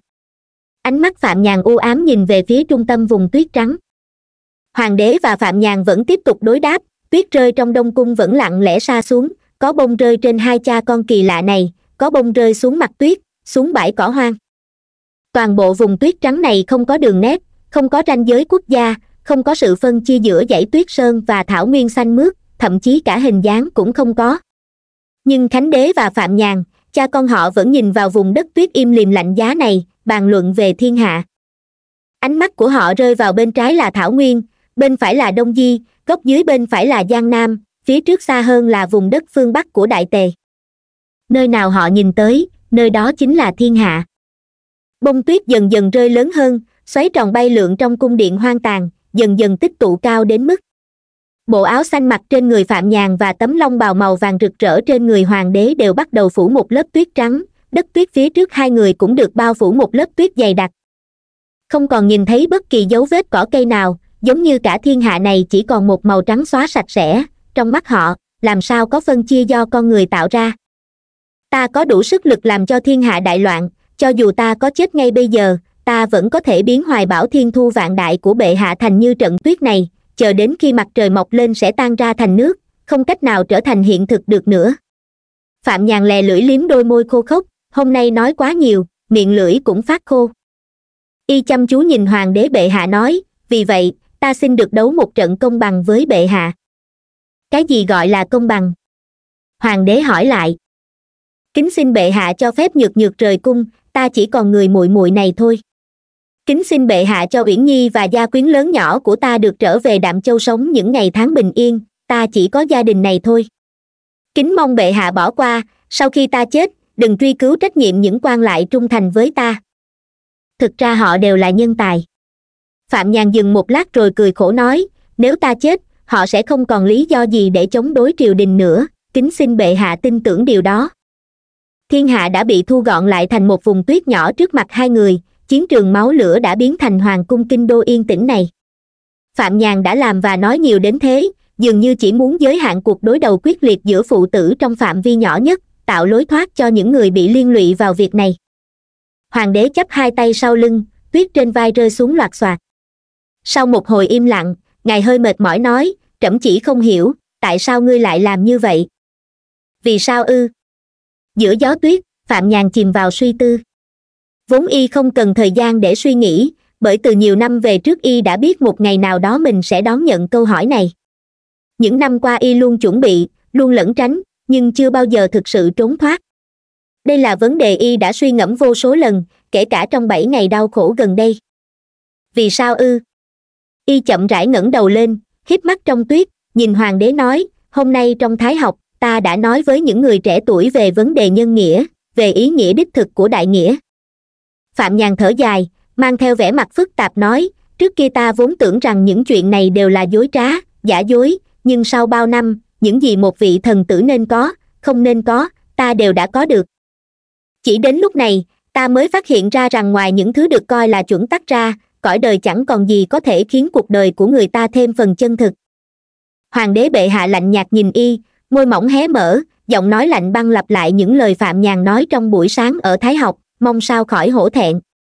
Từ xưa chí sĩ, muốn truyền đại nghĩa khắp thiên hạ, không vì thắng bại lợi hại mà lay chuyển lòng người. Buổi sáng, lời phạm nhàn nói với những người trẻ tuổi trong thái học rõ ràng đã khiến hồ đại học sĩ cảm nhận được sát khí và ý chí quyết liệt ẩn trong từng câu chữ. Ông hoảng sợ vào cung, tất nhiên đã tường thuật lại cảnh tượng đó cho hoàng đế bệ hạ không ngờ hoàng đế bệ hạ lại có thể nhớ kỹ lời nói của phạm nhàn như thế. Phạm nhàn cũng cảm thấy bất ngờ, có phần cay đắng cười khổ, ta không phải kẻ coi đại nghĩa là mục tiêu sống. Cũng không phải bậc thánh nhân đạo đức tột bậc. Trong tâm can ta vẫn chỉ là người biết yêu thương và tôn trọng bản thân, chứ chẳng là ai khác. Đó có lẽ là bản chất ẩn sâu trong tâm can ta, bị che giấu và phong bế hơn hai mươi năm qua. Phạm nhàn nhìn hoàng đế bệ hạ, hết sức nghiêm túc nói đời này ta muốn tận hưởng trọn vẹn, muốn sống phóng khoáng, tự do, không ân hận. Cho nên ta phải thanh thản, yên tâm. Nhưng nếu cứ tiếp tục như vậy, những thứ chôn sâu trong tâm can ta sẽ khiến ta cả đời bất an. Quyền lực và vinh hoa của thế gian khiến con người mù quáng. Nhưng ta vẫn không thể giả vờ không biết, không nghe thấy những chuyện xưa đã xảy ra năm đó hay mùa thu năm ấy. Trên khuôn mặt phạm nhàn thoáng vẻ buồn bã, trần bình bình vào kinh chính là để hỏi bệ hạ một câu còn ta thì không cần hỏi. Ta chỉ biết việc đó là bất công, và sự bất công ấy nhằm vào những người ta yêu thương. Nếu thế gian không còn ta, không còn người dám đứng trước mặt hoàng đế bệ hạ như hôm nay, thì những người đã khuất sẽ tìm đâu ra công lý. Họ không nên bị thế giới này lãng quên. Thứ bất công họ phải chịu cần được chuộc lại bằng cách nào đó. Phạm nhàn nhìn hoàng đế bệ hạ nói, đó là trách nhiệm của bệ hạ, cũng là bổn phận của ta hoàng đế bệ hạ im lặng rất lâu sau những lời tâm sự của phạm nhàn. Ngữ điệu lạnh lẽo chậm rãi hỏi, sao ngươi không hỏi trẫm rốt cuộc năm xưa đã xảy ra chuyện gì? Tại sao ngươi không hỏi trẫm? Hay trẫm không có nỗi khổ tâm riêng? Trong phủ tỉnh vương, tức thành vương phủ ngày xưa, vẫn còn rất nhiều văn thư, tấu chương mẫu thân bí mật gửi riêng cho hoàng đế bệ hạ. Phạm nhàn im lặng một lúc rồi đáp, ta đã đọc hết. Ta không cần hỏi gì cả, ta biết vì sao chuyện năm đó xảy ra còn với đại lục rộng lớn này, ngàn vạn dân chúng, cái chết của người đó liệu là tốt hay xấu, ta cũng chẳng mấy quan tâm. Y mỉm cười đầy khó nhọc, nói, bệ hạ, thật ra đây không phải việc tranh luận thiên hạ, chính nghĩa. Đây không phải công oán, mà chỉ là tư oán. Hay cho câu tư oán. Hoàng đế bệ hạ cũng mỉm cười, hai tay chắp sau lưng, cô độc giữa gió tuyết, toàn thân thấm đẫm vẻ cô đơn, cô ấy là mẫu thân của ngươi, chẳng lẽ trẫm không phải phụ thân của ngươi sao? Thân thể phạm nhàn hơi cứng đờ, không tiếp tục bàn luận vấn đề này nữa, mà bình tĩnh nói sang chuyện khác. Trong lòng hoàng đế bệ hạ có hoài bão rộng lớn, ngài đang bước theo con đường mà ngài cho là đúng đắn. Nhưng theo ta thấy, dù mục đích có vĩ đại, vinh quang và đúng đắn đến đâu, nếu dùng thủ đoạn tồi tệ để thực hiện thì vẫn không đáng tôn trọng. Hoàng đế bệ hạ mỉm cười mỉa mai, nhìn ánh mắt không chút sợ hãi của phạm nhàn chẳng lẽ ngươi cho rằng việc giết chóc tứ phía hôm nay ở kinh đô là thủ đoạn cao thượng lắm sao? Phạm nhàn cười lắc đầu, mục đích của ta chỉ là kết thúc nỗi oan trái từ mấy chục năm trước, xóa bỏ ám ảnh lớn nhất trên đầu ta. Tất cả xuất phát từ góc độ cá nhân, đúng như đã nói, đây là tư oán, vốn không có ý nghĩa cao cả gì. Vậy thì thủ đoạn thế nào cũng không tính là hèn hạ được. Phạm nhàn dừng một lát, ánh mắt phức tạp, mang đôi phần cảm khái nhìn hoàng đế bệ hạ, ở khía cạnh này ta giống ngài nhiều hơn. Đối với chúng ta, người tốt là một từ xa xỉ cỡ nào. Nhưng cũng chính vì thế mà ta không giống mẫu thân, đến chết vẫn còn mơ hồ. Ít ra trước lúc ra đi, ta có thể hỏi ngài một câu. Câu này nói về khác biệt căn bản giữa diệp kinh mi và phạm nhàn. Nhưng thế sự vô thường, điểm kỳ diệu là sau bao năm rong ruổi thăng hoa, cuối cùng phạm nhàn vẫn đi theo con đường của diệp kinh mi bởi vì đôi linh hồn cách xa thời gian nhưng vẫn sưởi ấm cho nhau này có lẽ là những tồn tại duy nhất trên đời không hề kính sợ quyền lực hoàng gia. Từ sâu thẳm bên trong lòng, trước ghế rồng, họ đều có khát vọng đứng thẳng. Hoàng đế bệ hạ im lặng, mỉm cười, ánh mắt mang chút cảm xúc kỳ lạ nhìn phạm nhàn. Có lẽ ngài cảm thấy mình đã gặp lại người con gái ấy sau bao năm xa cách. Đáp lại vẻ trầm tư dường như bình tĩnh nhưng thực chất đầy sắc bén của phạm nhàn, hoàng đế bệ hạ không tức giận không u ám, trái lại bình thản nói đến chuyện khác, hồi đó xem ra biến cố ở thái bình biệt viện, trẫm cũng không hy vọng ngươi sống sót. Phạm nhàn gật nhẹ đầu, biến cố đẫm máu ở thái bình biệt viện năm xưa, diệp kinh mi vừa mới sinh ra mình, đang lúc yếu đuối nhất, còn mình chỉ là một đứa trẻ sơ sinh, làm sao có thể sống sót dưới đợt truy sát điên cuồng của hoàng hậu và sự giám sát lạnh lùng của đại quân tần gia. Năm đó, hoàng đế bệ hạ đã vạch ra kế hoạch tàn nhẫn vô tình ấy tất nhiên cũng lạnh lùng không quan tâm đến sinh tử của mình.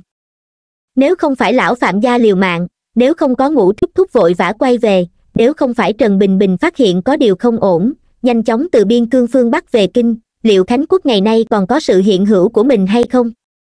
Có điều cuối cùng ngươi vẫn sống sót, lại được đưa đến bên cạnh mụ mụ. Trẫm vừa kinh ngạc, vừa phải thừa nhận trong lòng nhẹ nhõm một chút, dù sao ngươi cũng là cốt nhục của trẫm hoàng đế bệ hạ nhìn phạm nhàn bình tĩnh nói, nghĩ lại thì, lúc ấy bình bình đã nghi ngờ trẫm rồi, nếu không sẽ không đồng ý yêu cầu của lão ngũ đưa ngươi về đạm châu.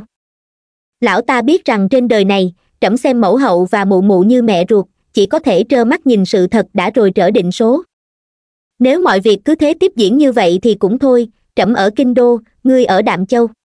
Đến ngày lễ tết, trẫm sẽ nhớ đến còn có một đứa con tư sinh ở đạm châu xa xôi, ban thêm ân sủng cho phạm phủ gửi đến bên ngươi. Tuyết rơi đầy trên đầu hoàng đế bệ hạ khiến không phân biệt được tuyết hay tóc bạc, toàn thân đã dần hiện rõ vẻ già nua. Có điều, dường như trần bình bình không nghĩ như vậy. Năm tuổi ngươi lên bốn, lão ta đã đưa phí giới đến bên ngươi, đồng thời bí mật điều động một nhóm gian tế của giám sát viện giao cho mụ mụ sử dụng. Việc này, lão có vào cung báo với trẫm. Lúc đó trẫm cho rằng lão hơi lo xa. Lông mày hoàng đế bệ hạ nhíu lại có vẻ đang nhớ lại quá khứ mấy chục năm. Nói tiếp, có điều, năm mười hai tuổi ngươi đã bị ám sát. Hoàng đế bệ hạ liếc phạm nhàn, lắc đầu, những năm đó ở đạm châu, có lẽ ngươi không biết, tin tức từ đạm châu đều được giám sát viện chuyển tới tay trần bình bình. Lão thọt kia thậm chí còn hăng hái hơn cả việc điều hành viện, thường xuyên vào cung, kể lại mọi hành động của ngươi cho trẫm. Ngươi đùa bẩn nha hoàng ở đạm châu, leo lên mái nhà la hét ông tỏi, tự tay nấu ăn cho mụ mụ trong cơ thể ngươi tu luyện chân khí bá đạo hung hiểm. Trên mặt hoàng đế bệ hạ thoáng nụ cười kỳ lạ. Mọi hành động của ngươi trẫm đều rõ như lòng bàn tay, thậm chí còn hơn cả những mấy đứa con trai ở kinh đô. Vậy nên dù ở xa đạm châu, trẫm dường như đã quen với việc ngươi ở bên cạnh. Rồi ngươi đến kinh đô, đến bên cạnh trẫm, ở khánh miếu, quán trà ngoài biệt viện. Hoàng đế bệ hạ liếc nhìn phạm nhàn, nụ cười dần thu lại. Ngươi vào giám sát viện leo lên huyền không miếu, đi cùng trẫm vào tiểu lâu, được trẫm phái đi giang nam. Trẫm phải thừa nhận, ngươi chính là con trai của trẫm, và cũng là người trẫm yêu quý nhất. Mẫu thân của ngươi từng nói, yêu thương chính là quen thuộc. Trẫm đã quen với sự hiện diện của ngươi từ khi còn nhỏ. Hoàng đế bệ hạ bỗng ngẩng đầu lên trời tuyết, không biết nhìn ai rồi gật đầu, nhưng con trai trẫm yêu quý nhất lại không chịu làm con của trẫm. Giờ đây vẫn đứng trước mặt trẫm, muốn thách thức quyền uy của trẫm đòi công lý cho việc năm xưa. Ngài cúi đầu, lạnh lùng nhìn phạm nhàn, giữa cha con chúng ta không có thắng bại. Nghĩ kỹ đến bây giờ, cuối cùng vẫn là trần bình bình giành chiến thắng. Phạm nhàn lắng nghe rõ ràng những lời này, nên rơi vào im lặng. Ngươi đã không phải là người nhân nghĩa coi thiên hạ lên trên hết, lấy. Ngươi chỉ tìm cách giải quyết thù oán riêng tư, chứ không vì công lý chính nghĩa. Như vậy trẫm thật không hiểu lựa chọn của ngươi hôm nay hoàng đế bệ hạ không cho phạm nhàn cơ hội cảm nhận thêm tình cảm giữa phụ tử, ngay lập tức lạnh lùng mở miệng chất vấn. Nếu phạm nhàn chỉ muốn báo thù riêng, chỉ cầu một phen thỏa lòng oán hận, tại sao trước kia phạm nhàn còn muốn coi đất tuyết kia là thiên hạ, phơi bày đạo lý giảng giải sự thật với hoàng đế bệ hạ, giới hạn chiến trường trong hoàng thành, định rõ phe ta và phe địch là chỉ trong hai cha con?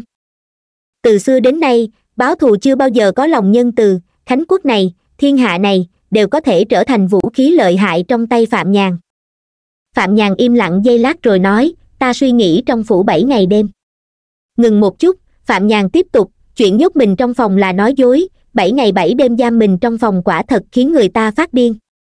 Ta cũng cần ăn uống, tản bộ hóng mát. Nét mặt phạm nhàn dần trở nên ôn hòa, bình tĩnh nói tiếp, vào những đêm khuya, khi uyển nhi và mọi người đã ngủ say, ta thường lẻn ra khỏi phòng, khoác lên mình một lớp áo mỏng giống như một bóng ma lang thang trong vườn phủ. Những ngày ấy kinh đô liên tục có tuyết rơi, đêm lạnh thấu xương, những người coi sóc vườn đều lui vào góc nhà uống rượu ấm mình, chẳng mảy may để ý đến ta. Ta chỉ một mình đi dạo, cứ thế mà đi dạo. Phạm nhà nhìn thẳng vào hoàng đế bệ hạ, đôi mắt sáng rực, vô cùng nghiêm túc nói, lúc đó ta mới phát hiện ra vườn nhà phạm phủ lớn thênh thang đến nhường nào. Thường ngày bận rộn chính sự, vướng víu tranh đấu quyền lực ta thiếu suy nghĩ đến nỗi suýt nữa quên cả hình dạng khu vườn nhà mình. Mãi đến bảy ngày này ta mới chợt ý thức được điều đó, hóa ra vườn nhà phạm phủ còn rộng hơn cả hoa viên nổi tiếng ở giang nam. Trên con phố phía nam thành có biết bao nhiêu phủ đệ, chiếm giữ bao nhiêu mảnh đất? Phạm nhà nghiêm túc nói tiếp, những chi phí ăn mặc hàng ngày, vốn chỉ là những thứ vô cùng bình thường trong mắt ta, nhưng với bách tính bên ngoài lại là những hưởng thụ xa hoa tột bậc. Phạm nhàn chỉ về khung cảnh tuyết phủ trắng hoàng cung nói, tất nhiên, khu vườn lớn nhất vẫn là hoàng cung này. Những năm qua, trong lúc sống những ngày tháng gia đình của bản thân, ta cũng góp sức giúp đỡ cuộc sống của bách tính. Cho dù là nội khố, nha môn trị thủy, hay hàng châu hội, ta đều có chút danh tiếng. Ta từng nghĩ mình đang giúp đỡ họ, nhưng chợt thấu hiểu, thực ra chỉ là họ đang nuôi dưỡng chúng ta mà thôi. Phạm nhàn bình tĩnh nhìn hoàng đế bệ hạ, nói, nếu đã vậy, ta còn gì để đòi hỏi lòng biết ơn của họ? Nếu thấy hay thì nhớ like và đăng ký kênh để ủng hộ mình nha.